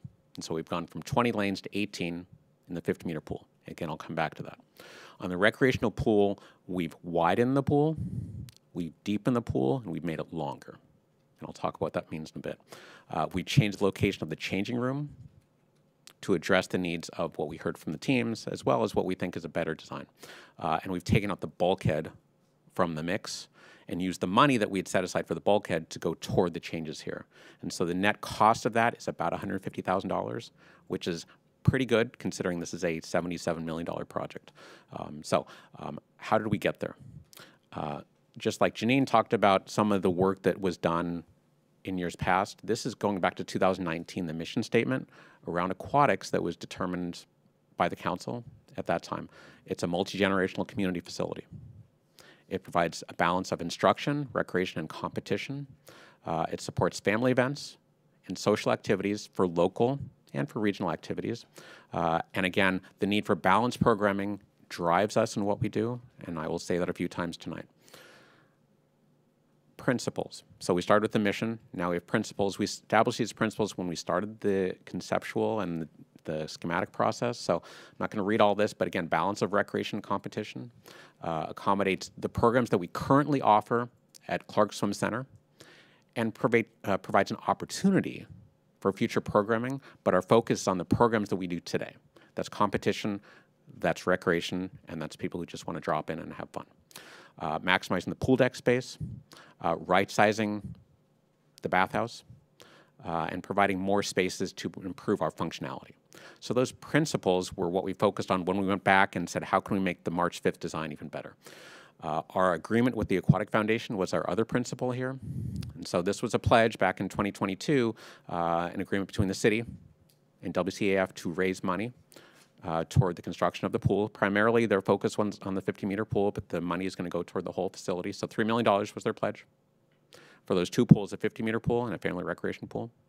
Uh, and the city's commitment to the Aquatic Foundation was to allow them to provide input on designs and location of facilities throughout this process. And we've done that. So what's the net result? Um, I'm pleased to be able to share with you what staff believes and the design team believes is a solution to the challenges that we were faced with just a month and a half ago. So those include short course lanes in the 50 meter pool. Those are the 25 yard lanes going across. Um, when we show, and I'll show you an image of this in a little bit. Um, when we showed this to you before, there were 20 short course lanes. Remember that some of those were seven feet, some were eight feet wide. We made them all eight feet wide. But in doing so, we've gone from 20 lanes to 18 lanes. So it's a loss of two lanes on the short course. The pool depths remain the same in this design, and the long course remains the same, which is nine lanes going 50 meters. So again, with that loss of two lanes on the on the 50 meter pool, staff looked at this and said, what if we added two more lanes to the recreation pool?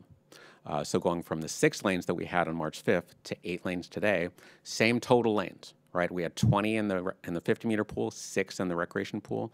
Now we're showing 18 lanes in the 50 and eight in the 25. Uh, at that time, 25 yard. Now we're looking 25 meters, but essentially the same number of lanes, 26. Uh, we're also suggesting that we deepen a third of that pool beyond what we showed you on March 5th. On the 5th, we talked about a shallow pool from 3, 6 to 5 feet. Uh, we heard a lot during the meeting on the 5th that the, uh, that the artistic swim team uh, was looking for more deep water. And so what we're showing, what I'll show you in the image, is that there's more deep water programming opportunities now than we had on the 5th, which allows the Aquanuts a place to be um, both during their regular practice time and especially during the long course swim time that we heard a lot about, whether it's aqua bears or masters. So provides a place for the aquanuts and gives a little bit more room to the masters and the aqua bears during the time that they're in long course. Uh, we've extended the recreation pool. Uh, we heard from the masters that the annual, what they call short course meters meet, a 25 meter meet that they run the diving well, which is 25 meters, was something that was important to them, not just for the community, for their programming, but as fundraising. And so extending that pool from 25 yards to 25 meters uh, addresses that concern. Also takes away the potential need for a bulkhead, which is what the uh, potential was. If the bulkhead was there, you could have a 25 meter course in the 50 meter pool. Uh, we have relocated the changing rooms um, and I'll show you what that looks like from kind of the far west side of the building over to the eastern side, um, which is closer to the pools, better access, better visibility, um, and easier for the teams and, and, community to access the pools from that changing room. Um, and that didn't, that didn't add cost to the design, even better. Uh, we're providing support for a future scoreboard. Um, this is not the scoreboard itself, but the infrastructure in the design would allow for conduit wiring, everything that's needed for a scoreboard to be identified and placed, and that could be a fundraising opportunity for the community. The other elements that you saw on March 5th are not changed. So the beach entry, uh, the play structure, and the current channel are still the same as what, what we showed you back a month and a half ago. So again, in terms of cost, um, if you remember the bulkhead, which was in the $77 million budget, was about a $1.08 million option. Uh, we've taken that out, um, and as a result, we're able to allocate those funds toward the recreation pool. Um, and the difference is a little bit more, $150,000, but um, again, we still feel that's worth it for an investment to get this.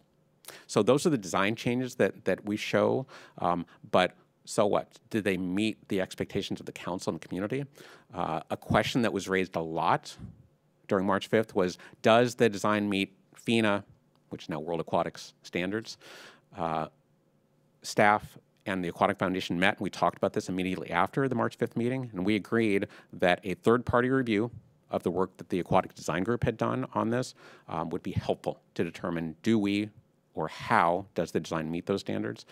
So uh, staff contracted with a, a, company called Counsilman-Hunsaker, which is probably the other big uh, aquatic design firm uh, in the country, um, and they independently reviewed the work that Dennis and his team had done with the overlay of how does this meet the World Aquatic Standards, um, and that's in your packet.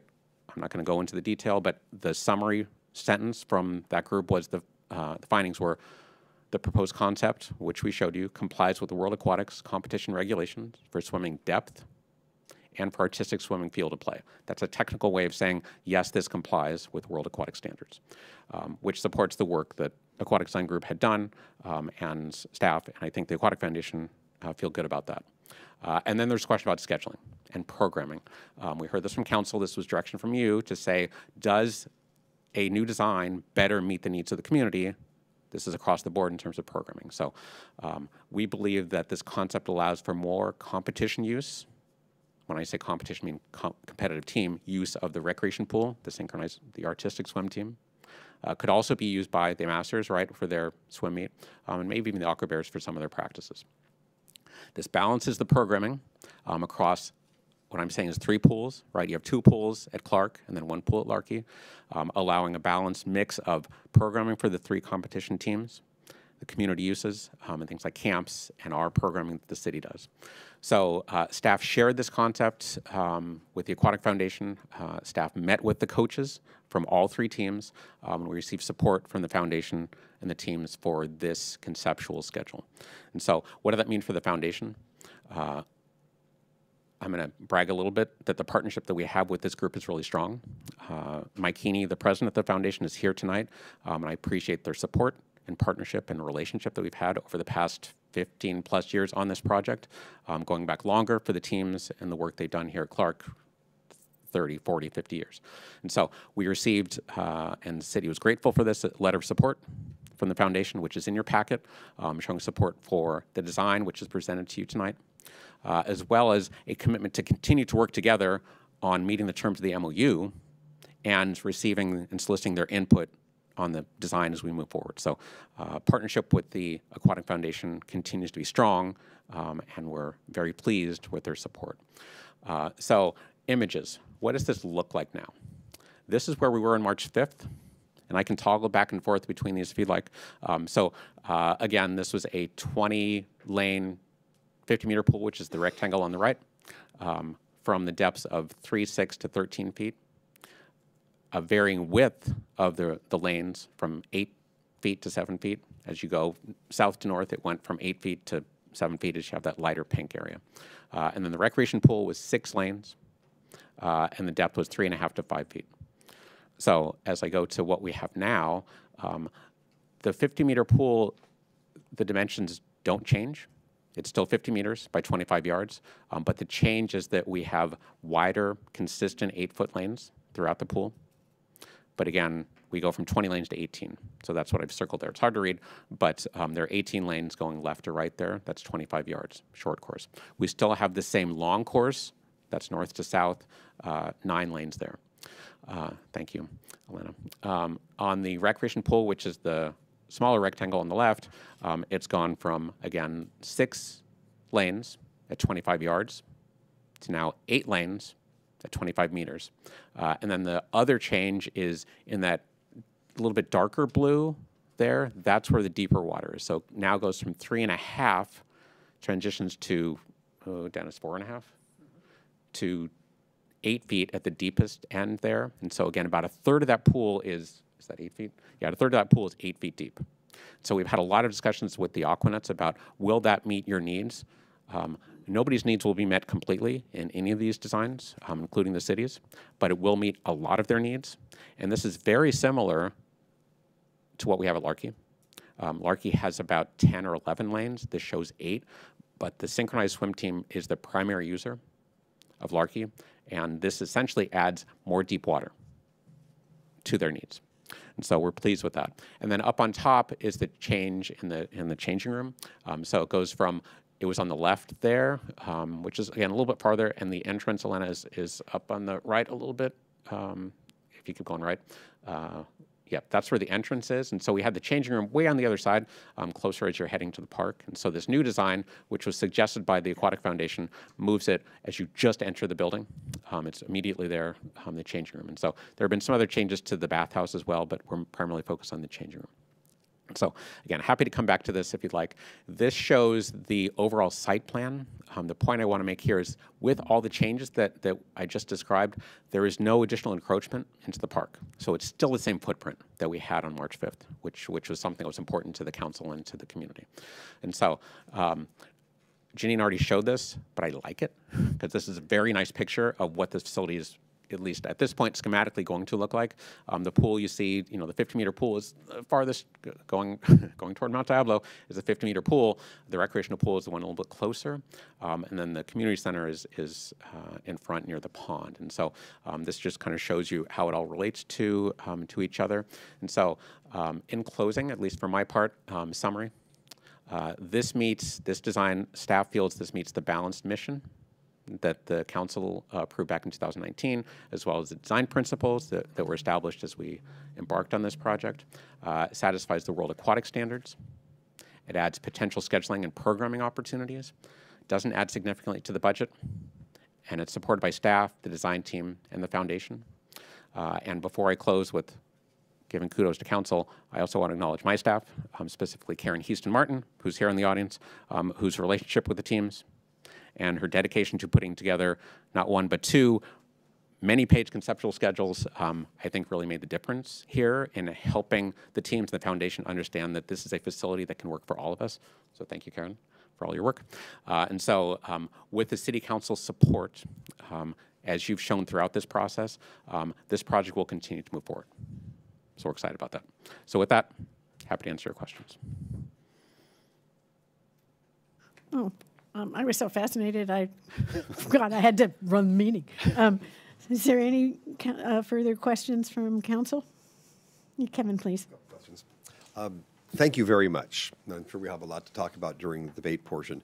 Um, great to see uh, some of the compromises here that were worked out, but I'm curious, were any of the aquatics groups, I'm talking about all the groups that we were putting this all together for, compromised negatively by the change? I mean, it looks like great positives was there a consequence that is going to negatively impact one of the teams? Uh, staff doesn't believe so. Um, I would expect that um, if the Aquatic Foundation president has thoughts about that, he would share them. But when we met with the teams a couple of weeks ago, we didn't hear that from any of the three major swim teams. That's good. So thank you for the question. Yes, that's good. Uh, we heard a lot about competitive competitive tournaments.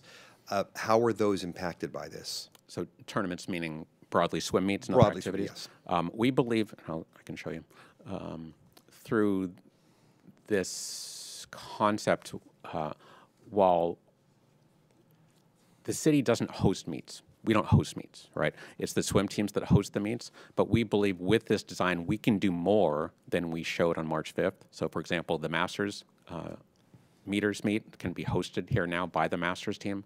Um, we can, we believe, continue to host the All City meet the conference meet. Um, but it's not our intent to have a whole lot of major swim meets because, again, one, with the proximity to the community center, um, the more big meets we have here, the less we can do in that building. Um, it also affects the, the rest of the park. And so um, events that probably take up most of the facility, we're looking at maybe four big, big, big events a year, like All City like conference meet. And so that's when we kind of close down other activities in the park, rentals and other activities on the, on the soccer field. Um, but when I say four, we could still do, in addition to those four, we could still do the Masters short course meters meet, right? Because that does not close the whole facility. We could still do a synchronized swim show. That does not close the whole facility. So we can do more through this design, but the intent is not to do a whole lot more. Great. Thank you. Those are my questions. Anyone else? Thank you very much. Um, to me, this feels like good news. Me too. One of the issues that had come up over the course of time was that the original design at Clark, all three pools were connected on the same system, which meant that we get one temperature and everybody had to live with it. Mm-hmm. Does this um, accommodate multiple temperature pools? Is it And can you explain that, or should I hold my question and ask this of the pool designer? Well, I, I will answer your yes or no question, say yes, and then I will have Dennis Berkshire address the how of that. Um, and uh, even today, we can have different temperatures in the pools just because the pool depths are different, but you can't set it that way. It just kind of happens naturally. But I'll have Dennis talk about that. It's an organic process. Exactly. Well, the deeper pools, right, hold their temperatures better than the shallow pools. Um, but Dennis will talk about the, the design going forward. Good evening. It's nice to see you all here again. Um, yes, first of all, we have two separate systems. So Okay. both of the, the rec pool and the competition pool operate independently. We can have temperatures set up with whatever it is we're wanting to, to use to those. Within the pool itself, say the rec pool, for example, um, we have the ability to vary, and based on the way we're looking at the sizing and the turnover of water, we can vary the temperature slightly. In other words, we can set it up so that we've got more water going to the shallow coming out of the heater so that you can try to get that slightly warmer than the other parts of the pool. But beyond that, you're going to be limited to that co-mingling of the water within the pool itself. So the eight-foot deep water in the recreation pool Uh-huh. is likely to be cooler than the splash water in the, near the slide and play area. It, it is. For two reasons. Massive water, that depth that you've got. We look at the pounds of water that we've got there and the, the battery that it becomes. And the second is that in the, the shallow water, we're going to have water turning over through that area about once every hour to or so. Whereas in that deep water, it's turning over once every six hours. So we're not taking the heated water to that deep water as frequently, which will allow us to, to get that as well. Organic, natural. Yes. Okay, I have some other questions, but, you know, it, they may involve you. The, the elimination for the need for the bulkhead also just to ensure I understood, because we never saw it in the design previously, we needed to add two, two meters to the 50-meter pool previously to accommodate the storage capacity for that bulkhead. So the cost savings was not only in the bulkhead itself, but also in the extra length of the 50-meter pool? Correct. That's right. The, um,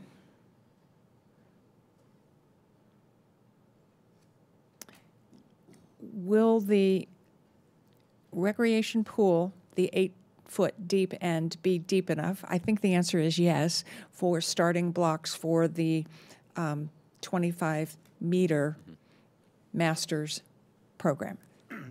Yes, it does. It exceeds the state requirement of six feet, six inches. It exceeds the World Aquatics or All right. FINA standard. In fact, the, the World Aquatics FINA standard is four and a half feet, which our state health doesn't even allow. So Okay. while it exceeds that, and so high school, master swim, all of those, it exceeds the, the requirements for safe diving. So that, okay. And previously, it wouldn't have been able to do that. So it'll be five feet, it set up for starting blocks, but portable?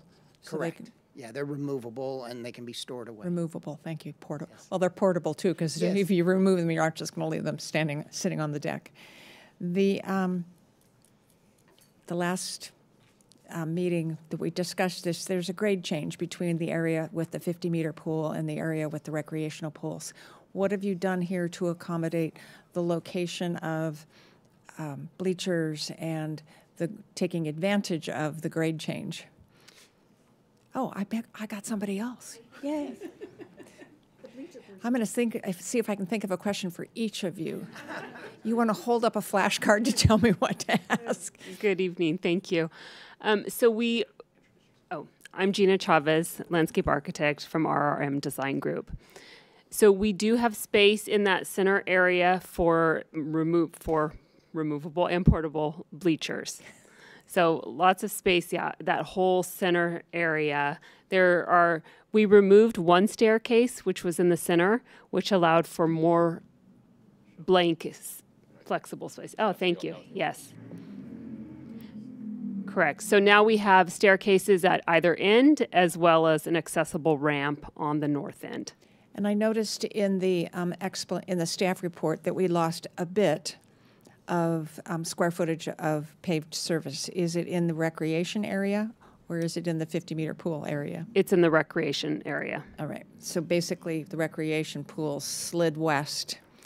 That's right. To right. accommodate the additional length of the recreational pool, as well as not to lose um, more deck space around the 50-meter pool. That's correct, yes. Because of the All Abilities Playground, we have no more room to move south. Right. Right. Thank you. I think that, that has been very helpful. Thank you. Thank you. Oh, wait, I did have another question. Who's responsible for the changing rooms? All right, see? I'm working my way through you all. I don't know you exactly, so I don't know what to ask you.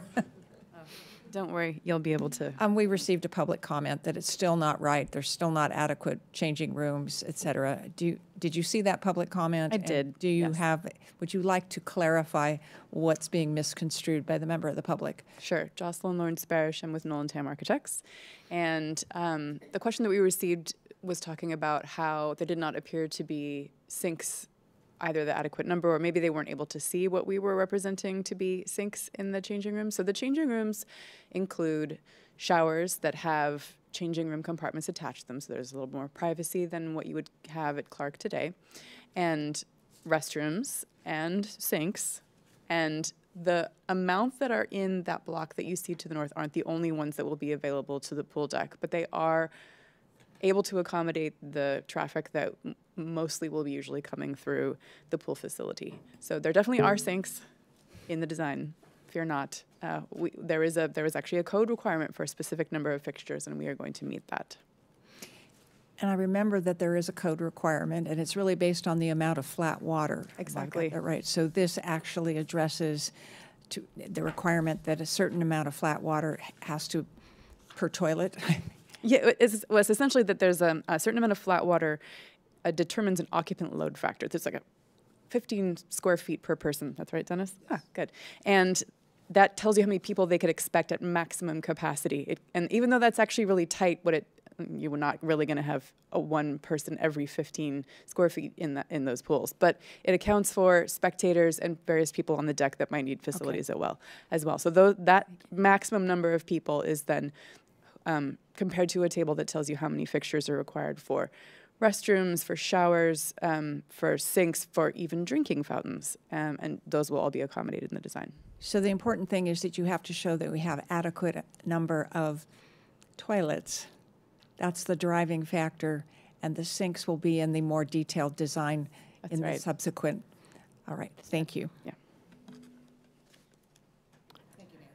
You're welcome. I'm waiting to see if you could figure out one more question to ask for the guy that managed to get away with it. But I'd have to guess, like, you know, what kind of plants are you going to use around the, but I, I- he could, might not be the landscape architect, so. Okay, uh, Matt, would you go next, please?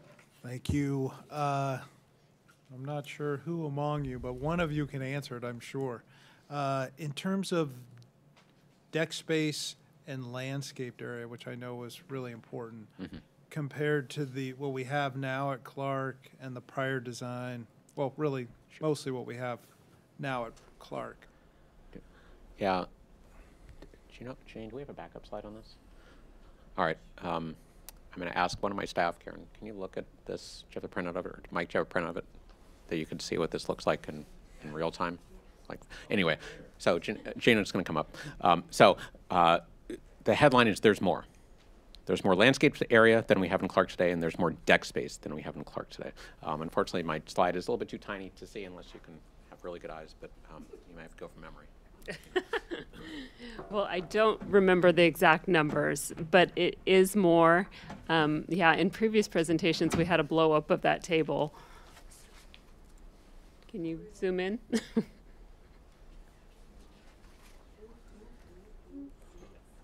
yeah.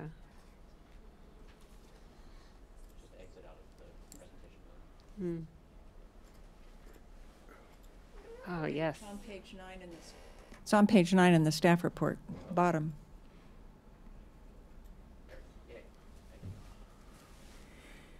Okay.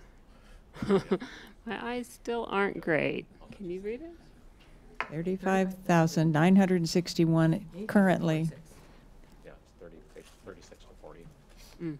So So it's about 36 today, square, 36,000 square feet today um, is the pool deck, and you're going to about 40,000. The number we showed you in March was about 42,000 roughly. So it's gone down a little bit, Councilmember Francois, from where we were um, in March because of the expan- expansion of the recreation pool. That's the pool deck. Um, the, the landscaped area is going from about the same, about 36. It's about 50 50 at Clark today to about 39,000 square feet. So it's more square feet in both. And was the bulkhead factored into the March deck space? Because that was taking up space So it on was the. it was not Okay. because we hadn't pursued that option yet. So if we had, then it would have been eh, maybe, maybe similar to what you see today in this design. Okay. Uh, I think that's all I had for now. Thank you. Mayor Pro Tem? I just have a simple question, and it's going on the rec pool from 25 yards to 25 meters. Um, Is that gonna, is that gonna be used as part of regular um, training ground? And does that difference between the yards and the meters affect the kids as far as, I remember Um, the obsession with learning your number when you cross the T and how to your flip. Um, right. So uh, this is similar to what we have today in the in the diving well. That's Uh-huh. 25 meters, um, and then the fif- the 50 meter pool has 25 yards in the short course. So we already have that mix of different lengths in both pools. But Karen can talk a little bit more about how we anticipate programming it. And I don't expect there's a whole lot of difference between programming 25 meter and 25 yard pool. But you can. Um, how we, hi, sorry, Karen Houston Martin, Program um, Manager. Um, the way that we envision programming that pool, uh, if we need to move, it would be used primarily during long course, when the 50 meter pool is long course. We would be able to divide the 50 meter pool up and have synchro in in the 50 meter pool um, while putting some of the older kids or at the discretion of the Aqua Bear coaches, which which of their um, teams would use that 50 meter pool. Currently, the Aqua Bears use the diving well in the morning and swim 25 meters all year round. Okay. No? So it's already months out of the happening. years? It's So already if it's wrong, Yeah. it's already happening. Yes. yeah. And then, um, oh, there was one more question. But I, oh, I know. Uh, The the lane widths in the rec pool are seven foot or eight foot. They're currently seven feet, Uh-huh. which is consistent with the diving well right now. Okay, so it's basically replicating what we have in the diving well at this point. Okay, all right, thank you. Mm-hmm. Um, I've never competitively swum, and I don't know what I'm asking, except um, it seems to me like if we're having um, meets, uh, do do do the are the pools compatible? So like the recreational long part can can be warm up stuff for somebody who's going to be in the Yes, if we held a 25 yard meet, um, typically would we would take the 10 lanes that are the deepest Mhm. and up to 13, 14, wherever that cutoff is, and use those for competitive. Have two lanes, at least two lanes of like a buffer, and then the remainder of the lanes could be used as warm up, warm down. We could also use the 25 meter for warm up and warm down as well. And we've done that in the past. Okay. I hope everybody knows that I know you need to warm up. Okay, is there any other, yes? Uh, let me one more quick one. Um, in the new pool, I know when we would run the Clarke pool for a meet, you couldn't do dives in the practice area. Is this pool going to be deep enough that you could do dives in the practice area? To do I'm- like racing start times? Yeah, racing starts. What, by practice area, you mean the recreational pool? I mean, um, I mean the shallow end when you have um, a meet and you have the. So it would not be, but when we run meets, we don't want those swimmers diving into the Okay. into the practice lanes because it's a little unorganized. They jump on top of each other. I've been in charge of that, and it's not fun. Like ah. Okay. All right. Thanks.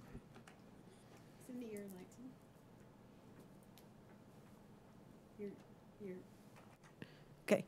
I don't see any need for the council to ask additional questions. Is there any other additional information you'd like to share with us? Uh, I'm going to hand this over to Jocelyn Lawrence Bayer to talk about sustainability, and then she's also going to talk about essential services, uh, and then we'll be happy to answer any questions. So the questions about each of those topics after she's done with each one, and then we'll come back to you again if you have any more about aquatics. But Jocelyn, thank you.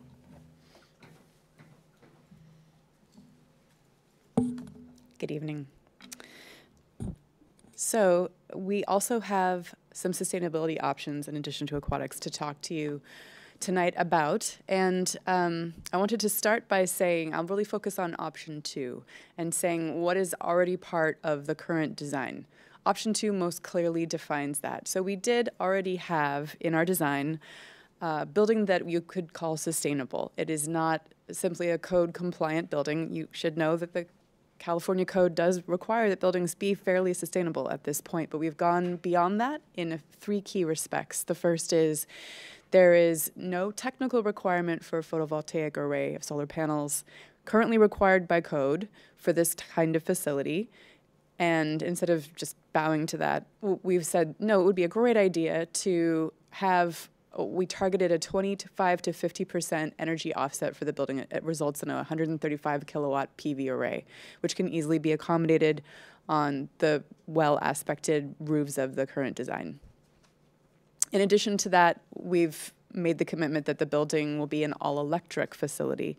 Similarly, the, even though the code is trending towards that requirement, it is not currently a requirement that the building be all electric. So we're exceeding code by saying that the building facility itself will only run on electric energy, which allows it to be compensated by renewable energy sources. And lastly, we're aiming for a LEED silver equivalency. So just a little brief um, primer about, about what that means. Um, so LEED is a standard set by the U.S. Green Building Council many, many years ago. And uh, for those of you who are less familiar with it, it's a, a series, a, a, very long series of checklists. And it's a certain combination of all of the points that you earn on that checklist that de determines which level you can reach. And so uh, we have we, we have not yet completed the checklist to figure out which exactly ones we would need to get to LEED silver. Um, having the PV array, having an all-electric facility gets you well towards that LEED equivalency, but there'd be an, an additional number of strategies, probably largely focused on water use reduction that could get us to those LEED silver points that would be required. And by equivalency, we mean we probably would refrain from actually registering the product with the project with um, USGBC and instead focus the somewhat sizable fees that it's required to do that uh, on actually the design itself. So that's all included within the current project costs that we've been holding. we've given you a number of other options to consider, however. The first is a more conservative, less sustainable option over in the left-hand most column, where instead of assuming an all-electric facility, it would be a, a, a hybrid electric and gas-powered facility. And um, there would be a, a very a very much smaller array of PVs. It's still not the zero that's required by code, but closer to what code would require should code be applied to this kind of building. The code requirements for photovoltaic arrays is actually fairly small currently. So it would be closer to this 50 kilowatt PV array you see in column one. Um, and and instead of looking for those extra water reductions, et cetera, to lead to, to address a LEED silver level of equivalency, we would simply be sticking with the code guideline, guidelines for how the building would be sustainable. And you would have a resultant savings of about 500K for the project. Uh, in addition, there's two more columns. The third one is the staff recommended option. So as, as the, the group of designers and city staff who have been considering all of the multitudinous sustainable strategies that could be implemented for a project like this, it was really decided that um, providing the infrastructure, so specifically providing the structural support required and the electrical support that will be required to have more photovoltaic array in the future, more um, possibility for adding a, some battery backup for the building um, would be a very worthy investment at this point in the project. Retrofitting structure to support more PVs over time is very difficult and costly. And at this point, building it from scratch in that way is a, is a much more cost effective way to build. Um, and the batteries, I can spend more time talking about them as you so choose, but um, we did a, a, pretty deep dive into research. That's actually what my, our, our, additional row member here is for. Here's our Director of Sustainability and Project Architect for the project, can, can talk about the research we did into how batteries could or may not play a role in the project. Essentially what it came down to was um, The current battery technology would require that if we house them within the facility itself, there be a very significant fire separation that makes it difficult to house them within the building itself. It would actually be more cost effective to house them separately in a separate structure, perhaps in the parking lot, which makes the folks who are concerned about parking access and parking count a little nervous. Um, and in addition, the ways that the battery can act in concert with some of the other services that will uh, and options that we'll talk about that the building might provide are not quite as flexible as they are poised to be in the near future. And so it, it seemed as we were a group deciding on what to recommend or not that battery technology is about to get a lot better. And giving yourself the opportunity to expand into more battery capacity that could be contained within the building itself for with more flexibility in how those batteries function is probably the best way to spend your money at the moment. However, should the council choose, there are some other sustainable options we've provided costs for. One of those is a 10% battery backup for the facility. So you can see the actual cost of what that would require. Um, you could also add additional photovoltaic panels if you wanted to come close to actually equaling out the energy consumption of the building itself. You'd need to add another 165 kilowatts of, of PVs, and that would mean um, more than could be accommodated simply on the roofs themselves. You'd need to then have some of the trellises and other structures within the site able to support PVs. You would therefore not need to have the, the future support um, functions you, you would have maxed out your, your PV um, capability at that point. There are other things that we could look at and would need to look at if we, for instance, wanted to reach the next level of LEED equivalency or certification. We've actually put the price here for actual certification um, for a LEED gold level. And some of the things that were brought up that could be, for instance, in alignment with the city's sustainable ac- sustainability action plan could be things like instituting natural ventilation throughout the building, um, having a portion of the building include a green roof. Um, they do come with a, a price tag and so we've summarized some of those prices in the in that far right column. So obviously, to the leftmost column, that's the more conservative, more fiscally responsible set of options, and to the left, the more sustainable, um, but therefore slightly more first cost. Um, uh, con- um, has more first cost in, in that right hand most column.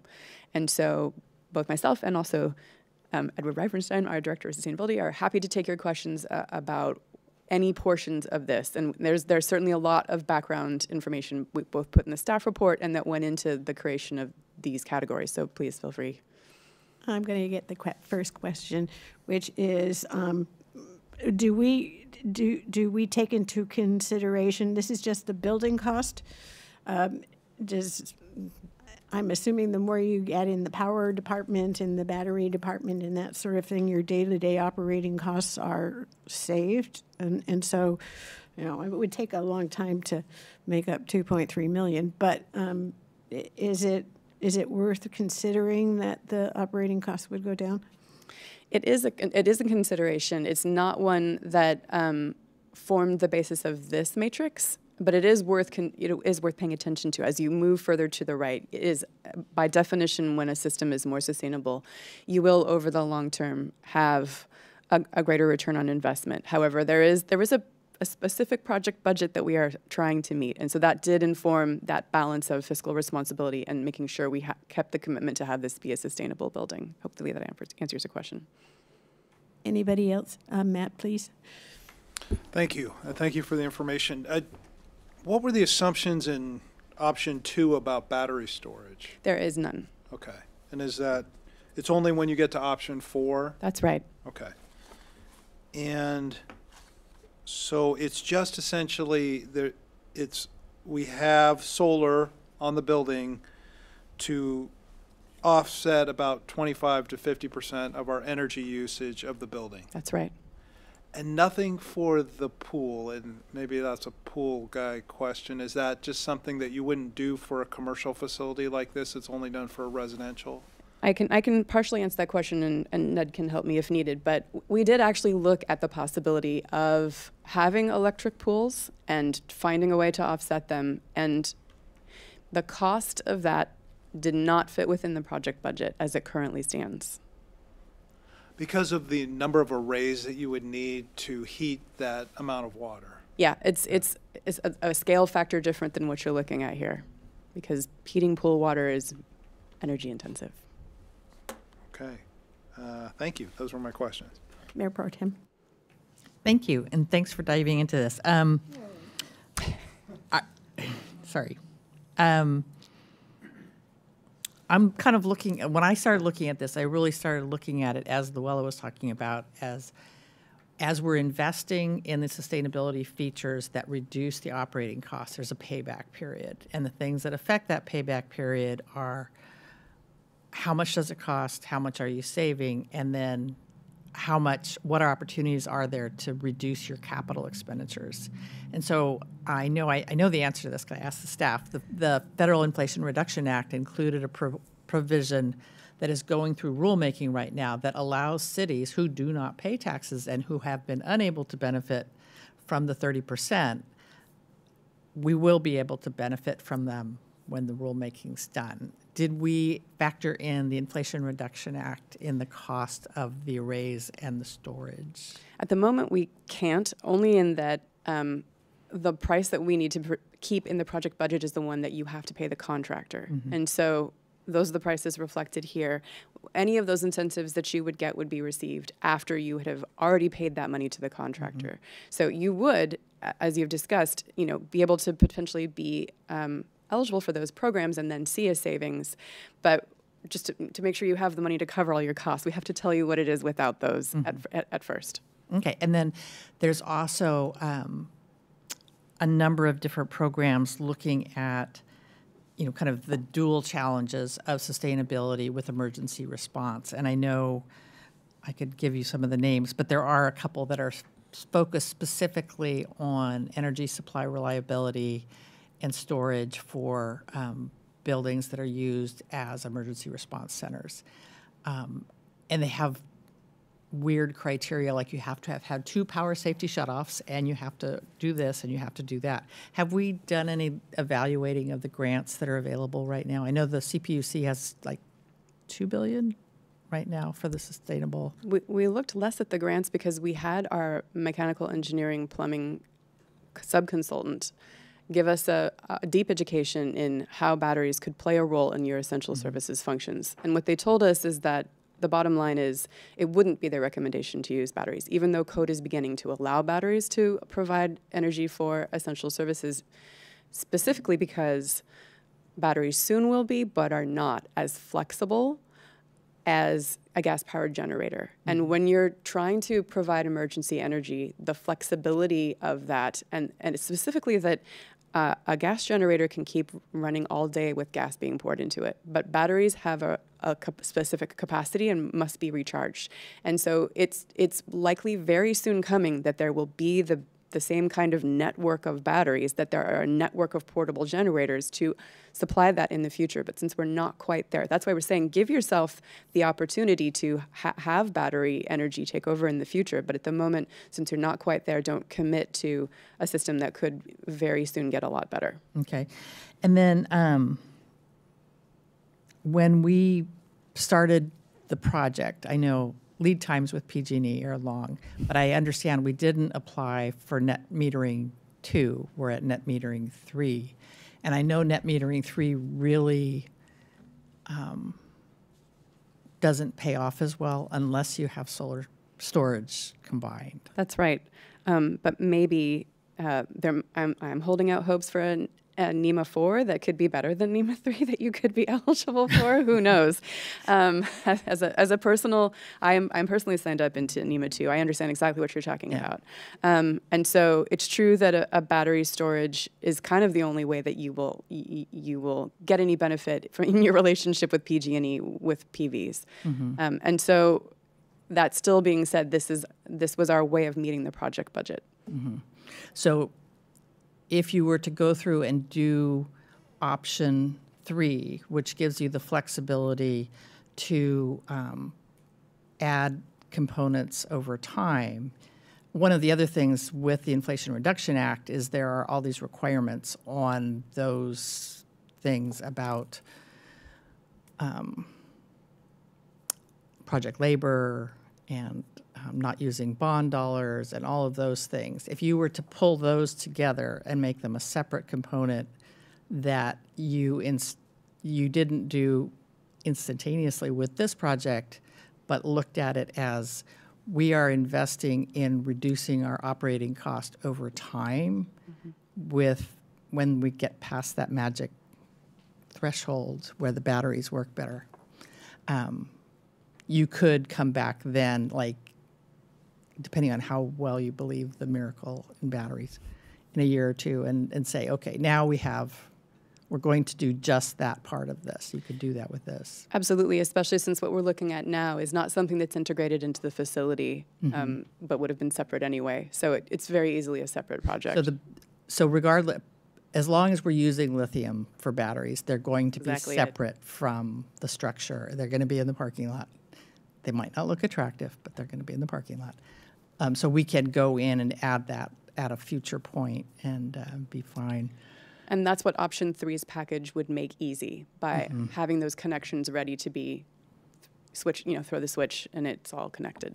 Okay, and then the, um, when you get to the full 300 um, kilowatt, at that point, you're actually putting them on the trellises, not just on the roof? That's right.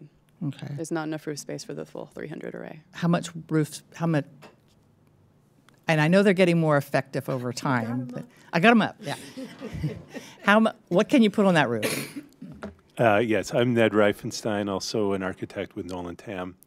Um, so you can get about 200 kilowatts on the roof. Um, that is in the really optimal orientation, the south-facing orientation. We could put more. Um, it wouldn't be. It, it might not be as cost-effective in terms of the yields you'd get, and the the optimal would probably be on the trellises instead. Um, that's a study we would do in the Mhm. next phase. Um, if we were to, to go for a 300 kilowatt target, we would figure out where to put them. But our sense right now is that only about 200 of that would fit on the roof. Mhm. So, Okay. thank you.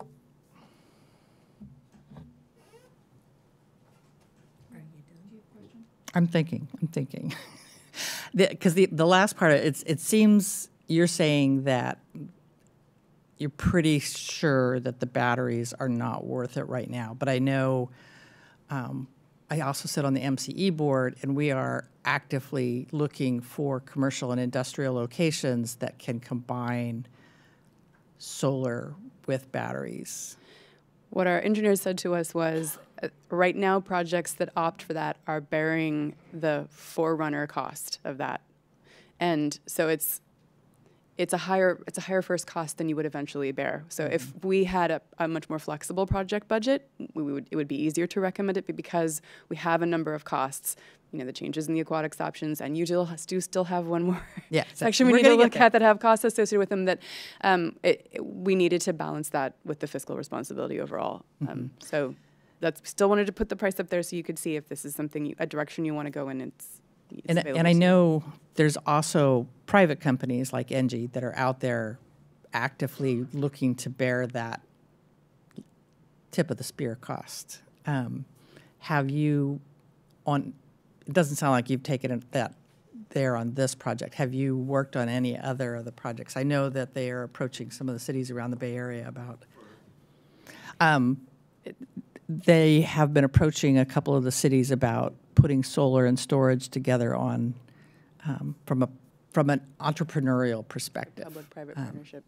No. You haven't, okay. All right, thanks. Looking for other questions?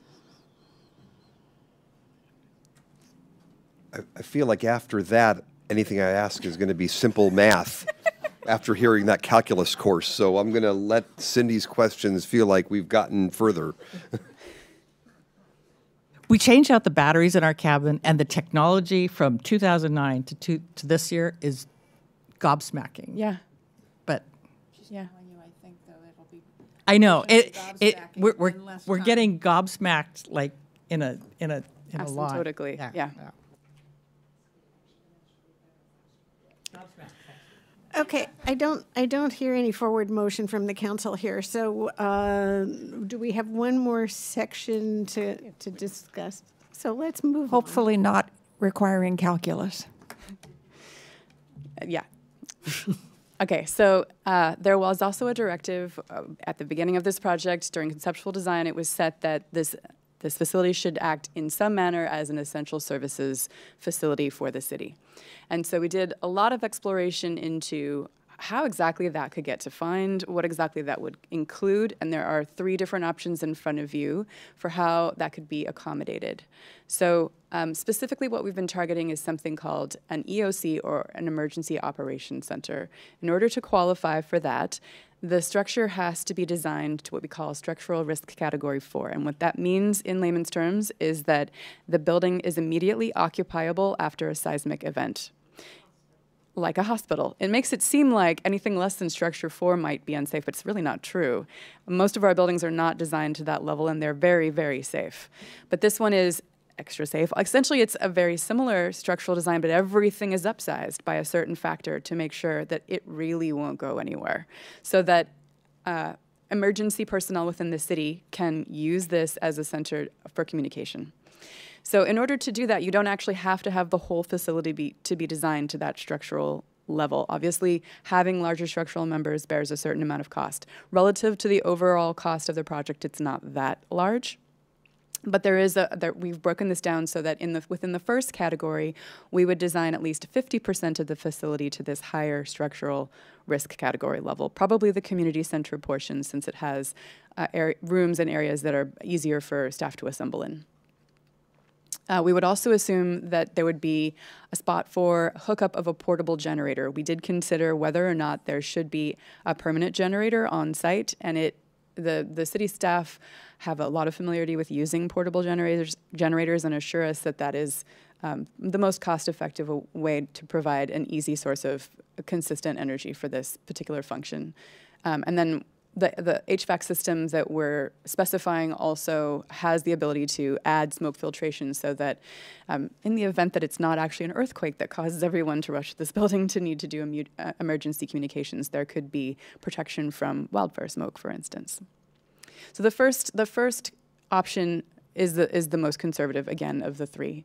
The middle column would be simply adding that higher risk category level to the entire building. What that would gain you is um, potentially a longer period of operation. The rest of the building has more restrooms, um, and so potentially you would have you could have a larger number of staff that could be accommodated who might need to be taking um, taking action with the emergency communication. But none of them are, are truly an EOC. Excuse me, for column one, neither column one or two are an actual EOC. They're called EOC ready, as in they're almost ready to be to act as, as this communication center, but it's the, the portion that's missing is listed in column three, which is the communication systems themselves. There's inf additional infrastructure within the communication system and the actual equipment itself that doesn't have a use during the regular normal operation of the facility that could be housed on site that would make it from EOC ready into an actual EOC. That literally all that would have to happen would be staff roll up and begin to use the center to provide emergency communications for the city itself. Um, each of these does have a slight more cost. All of them are currently uh, well within the cost that was set aside and allocated for this for this particular um, function for the building during the conceptual cost estimate. And it's literally just a question of you know a slightly more conservative, do we need all that space to, to withstand an earthquake? And do we want to have the communications functions already on site, or could we use other ones that the city may have? Um, so any questions you have about this, we're also happy to take. We looked into a lot of other options than these, but these seem like the best way to fulfill this function for the city. I'm looking for lights. Uh, Cindy Silva. Okay, now you're in my wheelhouse a little bit, not as much as hers, but. Um, so let's talk about EOC operational, what it means from a true communication standpoint. Does this mean we need more towers or antennas on the site? Do we need to store consoles there? Do we need to store radios there? Not likely one or two, but yes, likely three and four, and the design has not been completed. So I don't have a 100% answer to any of those, but that's okay. the initial. So we're going to assume that the um, the network itself is going to. Yes, we're assuming the network itself is actually still working. The same is actually true of the plumbing system. Okay. And it is, I'm just saying, you know, I'm on the California Seismic Safety Commission and Yes. seen pictures of Yes, where that doesn't- four that doesn't happen. versus two, and it's hospitals, Which fire might- stations, and police departments for fours. And why wouldn't we want to make this a four? Which, which might sway your decision from column one to column two, because there's a pool that you could get to if the whole building is seismically sound. Just, Just, Okay, thank you. I was a little confused about the, the discussion of the budget. It says all options are in the EOC budget allocation.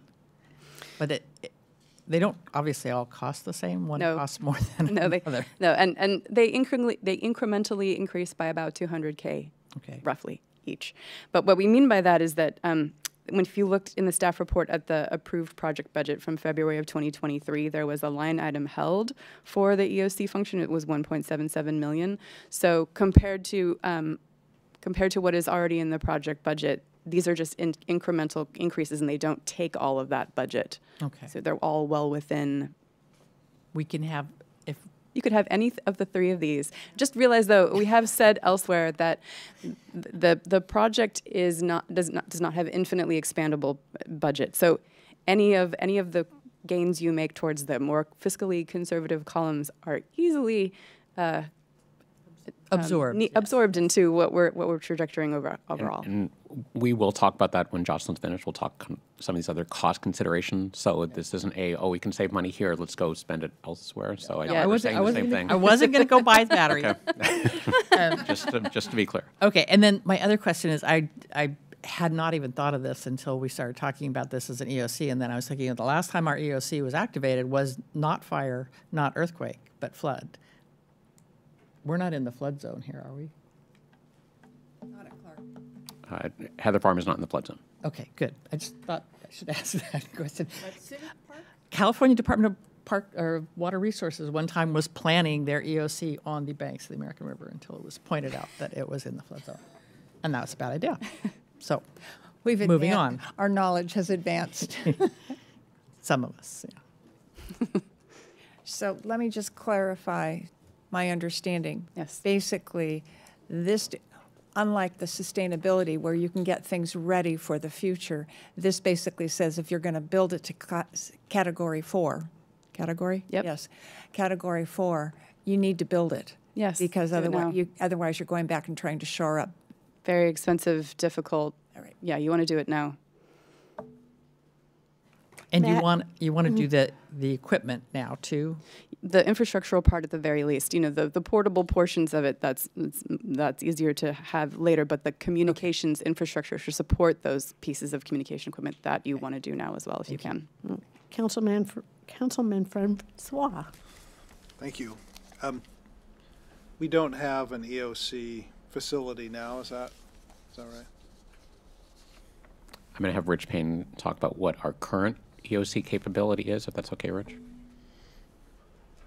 It's not as if we're not prepared to handle, and we have handled emergencies, but not to this standard. I'll Rich talk about that. Good evening, uh, Mayor, council members. Rich Payne. Um, I'm the interim uh, Assistant Public Works Director currently. Um, in terms of our EOC, we currently have uh, an EOC uh, that we use here at the building on the third floor in the conference room. Um, it doesn't meet the class four uh, classification currently. Um, there is some seismic upgrades to the facility.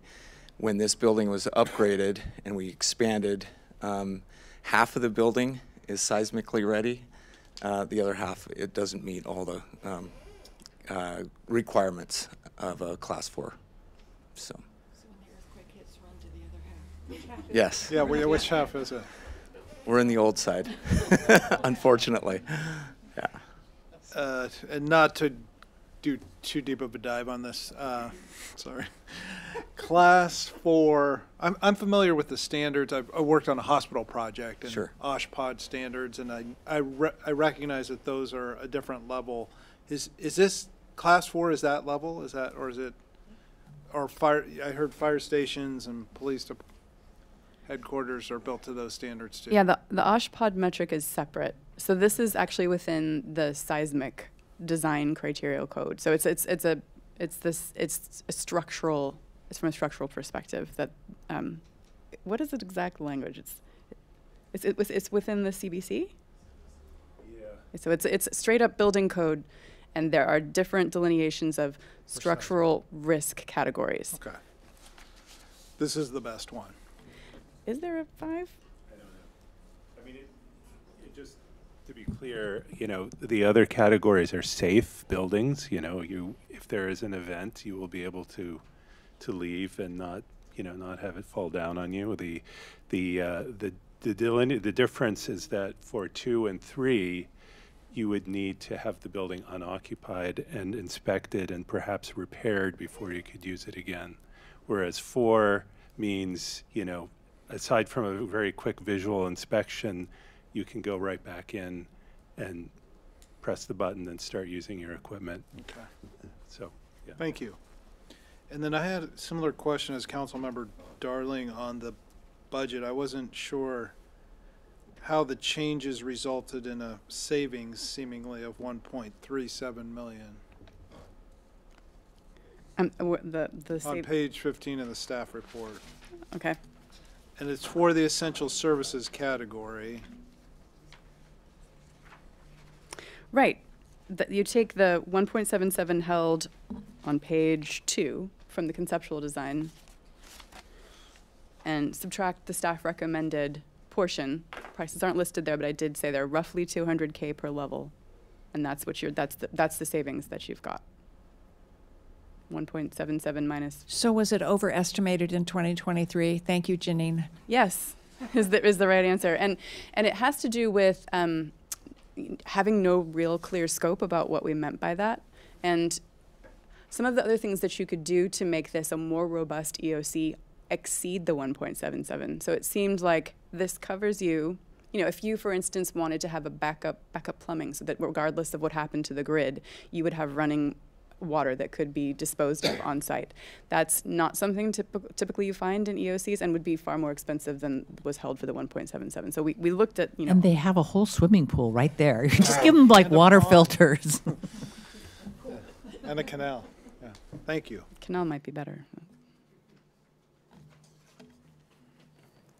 Okay, um, I don't see any more questions. And is there anything more that staff So, wants? so to Janine put- is going to wrap up, and then we'll turn it back to council and And public then we'll, comments. then we'll do public Yep, comment. thank Okay, you. thanks.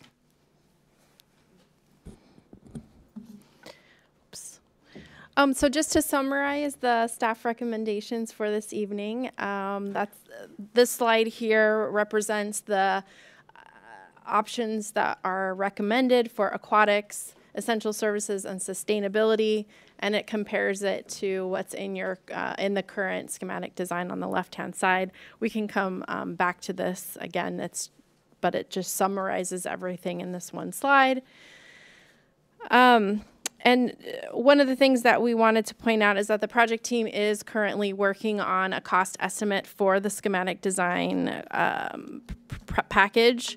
And in so doing, there are a number of items that have come up, both construction costs and soft costs, that are cost pressures on the project budget.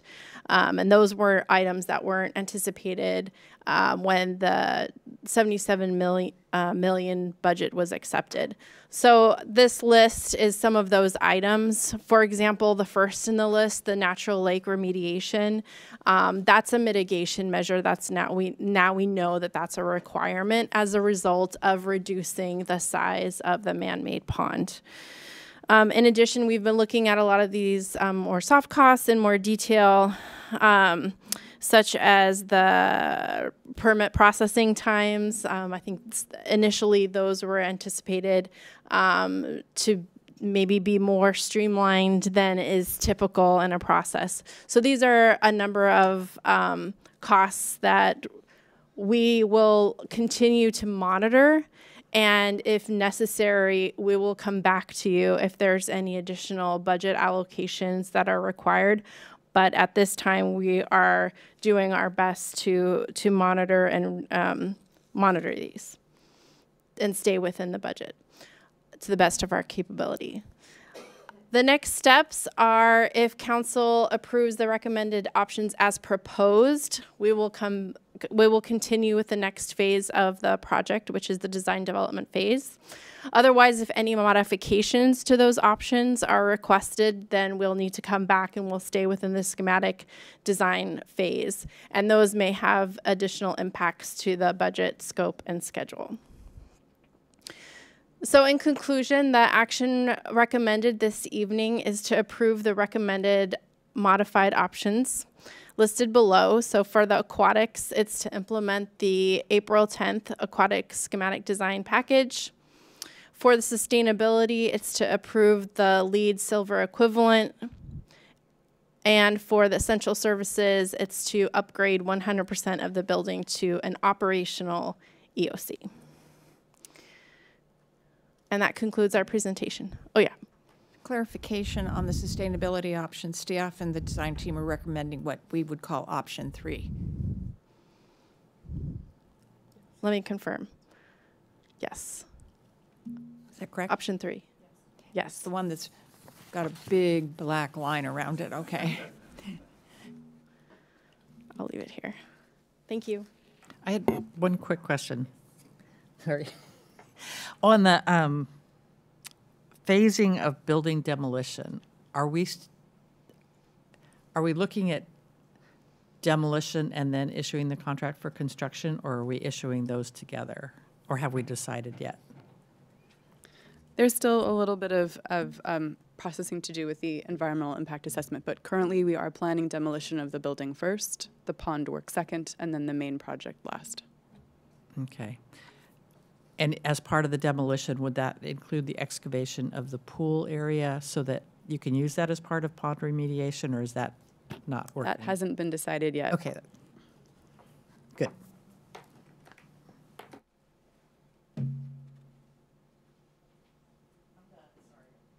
It's okay. You're not the only one. Um, so I, we are at the moment when we open this to public comment, and if anybody is up for it, um, just the person I was hoping would come and share with us. Thank you.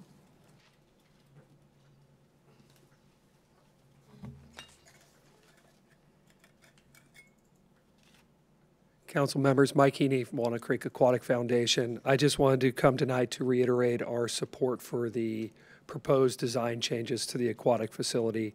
And most of all, thank everybody who's been involved in this process for so long uh, for all their time, energy, and concern for your communities.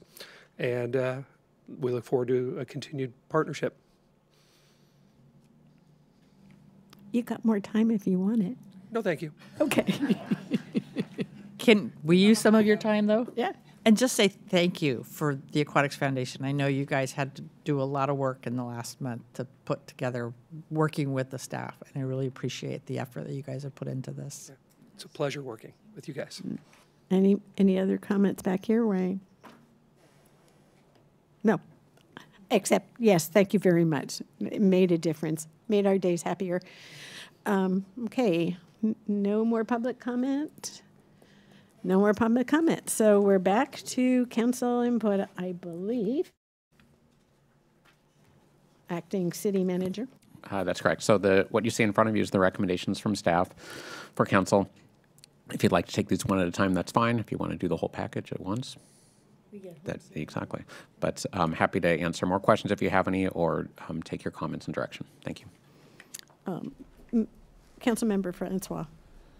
Uh, Well, first of all, I, you know, I'd like to kick it, kick off by th- thanking staff, everybody on the Arts and Rec staff, uh, Kevin, obviously, Karen, the whole team, uh, you know, our consultant team, and certainly want to thank the Aquatics Foundation. Uh, This is um, a contrast from the last meeting and a, and a pleasant contrast. I think it, it shows when kind of we listen to one another and we roll up our sleeves and sit down and try to work on solutions. It's pretty amazing what we can accomplish. So I'm, I'm really pleased uh, that we're at this point and really happy uh, to move forward. I'm happy to make a motion now or later, but I, I will be supporting um, the staff recommended options. I think the logic on each of them made sense to me. Uh, I think i- it- uh, on the pool, we're, we've reached a consensus and with the Aquatics Foundation and honored our commitment to meet the, the programming needs of the teams, which is very important, as well as balancing that with our community needs. So I think we've certainly checked that box and, and taken care of my very favorite aquanuts uh, with some additional deep water space for them while still allowing the aqua bears to do their long course swimming. Um, on the sustainability, um, the recommendation made sense to me that, you know, the roof can only support so many arrays at this point, and at, at some point, that battery storage is coming, and that by doing the staff recommended option, we're not foreclosing ourselves from taking advantage of that. Uh, hope, hopefully it comes in the near future.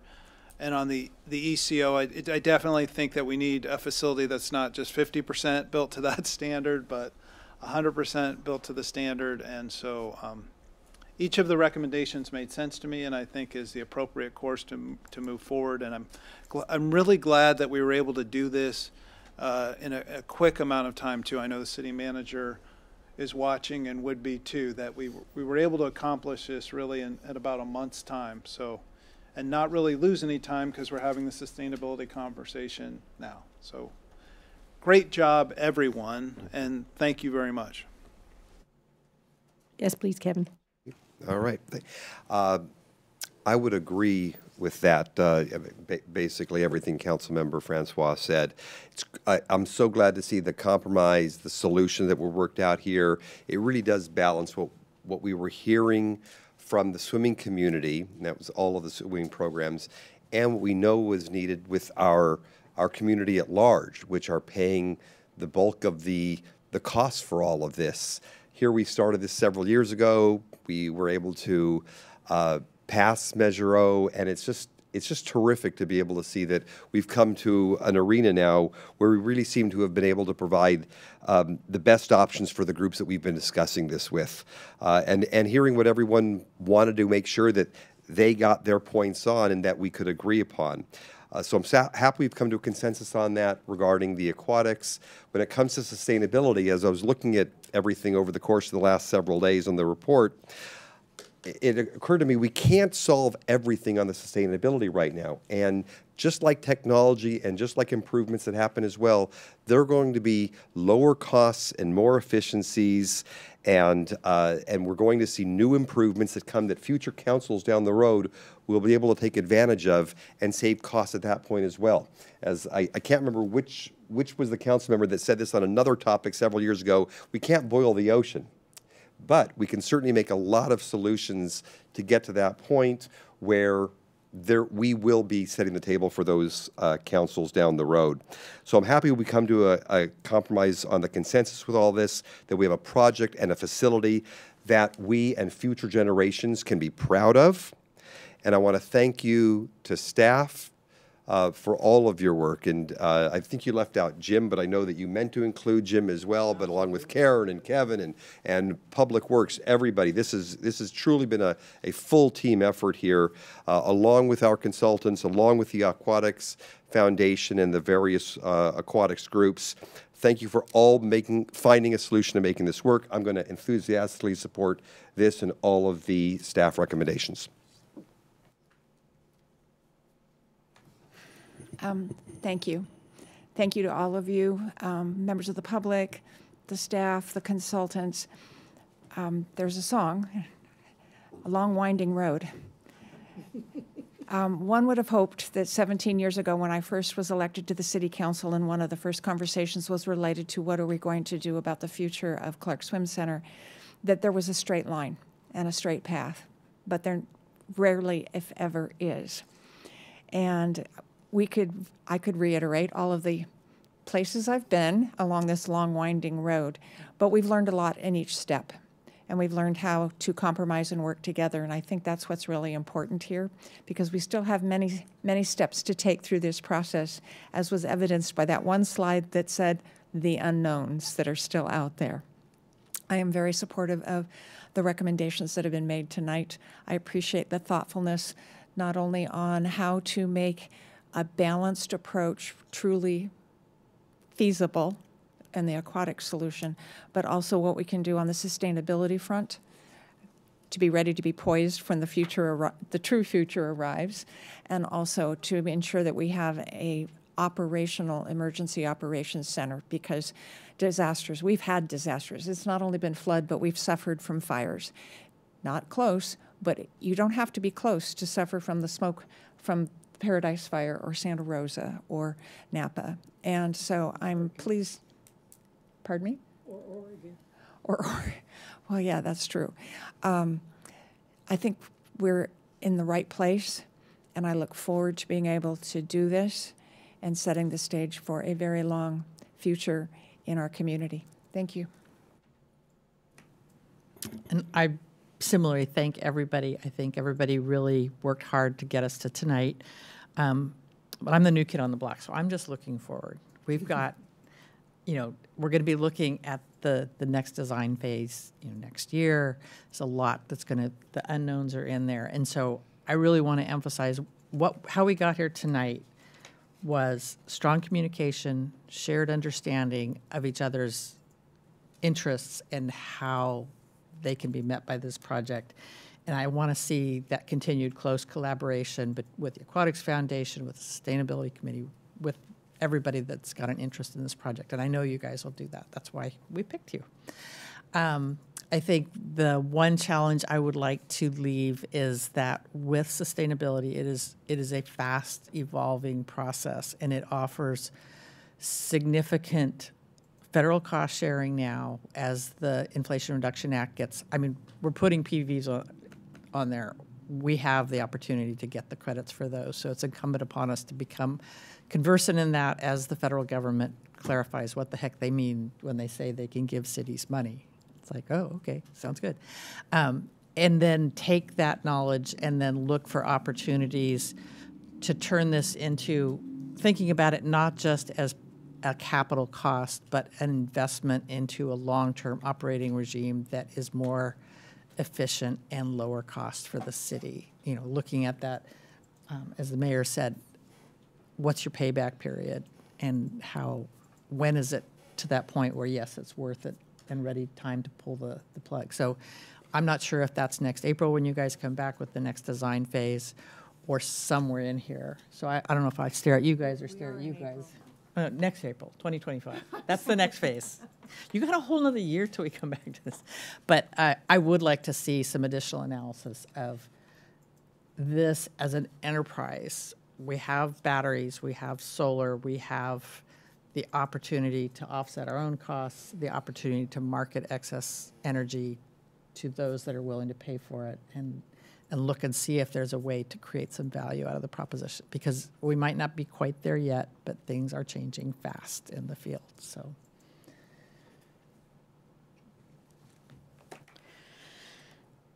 Okay, I guess I should thank you, because you made my day. Um, y- you really did put together something where everybody can walk away. Um, I think I was talking to our uh, to acting. I can't remember again. It, it's my cold. Um, acting uh, mayor, and I said sometimes under pressure, better things happen than if the pressure hadn't applied. And um, and then along the way, everybody gets really upset with it. It gets personal. It gets um, frustrating. It it looks like it's never going to happen, and then all of a sudden, like a giant balloon that you stick a pin in, somebody says the right thing somehow, some way, and I don't know who to give credit for everybody. I bet you all have um, your own little balloons that you popped and then found the big balloon that made it all happen. I really appreciate it. Um, the thing that makes me most excited is the practical, which is we have needed an, uh, uh, a, a community center, a current operation, emergency operation center. And in all the problems that we had getting here, I think we kind of never even paid attention to how much this community needs something that we will every day get up and pray that we will never need, but when we do, we have it. And so um, it makes it makes me feel better that we have taken care of that. That was very special. Uh, I think the pools are going to be sweet, um, and and more people are going to enjoy swimming, and you're going to think of new ways to use them. And uh, this creativity, I think, will pay the in, inevitably pay great dividends to our community. And so, thank you all for hanging in there and finding the solution. I believe there is a, a potential nomin, nominee for a motion. Madam Mayor, I, I'd be very pleased to um, move the staff recommended options in terms of the aquatics option, implementing the April 10th, 2024 aquatics schematic design package. On the sustainability option, approving the LEED silver equivalent with support for future add-on features. And on the essential services option, upgrading 100% of the new building to operational EOC capability. Second. Thank you. We have a motion and a second, and I now need a roll call vote, please. Councilmember Francois. Aye. Councilmember Wilk. Aye. Councilmember Silva. Aye. Mayor Pro Tem Darling. Aye. Mayor Haskew. With a giant smile, yes, aye. Motion carries unanimously. Thank you. Um, We did it. You did it. It is now uh, ready to move on, and that gives me the right to adjourn the meeting to the next regular meeting on May 7th.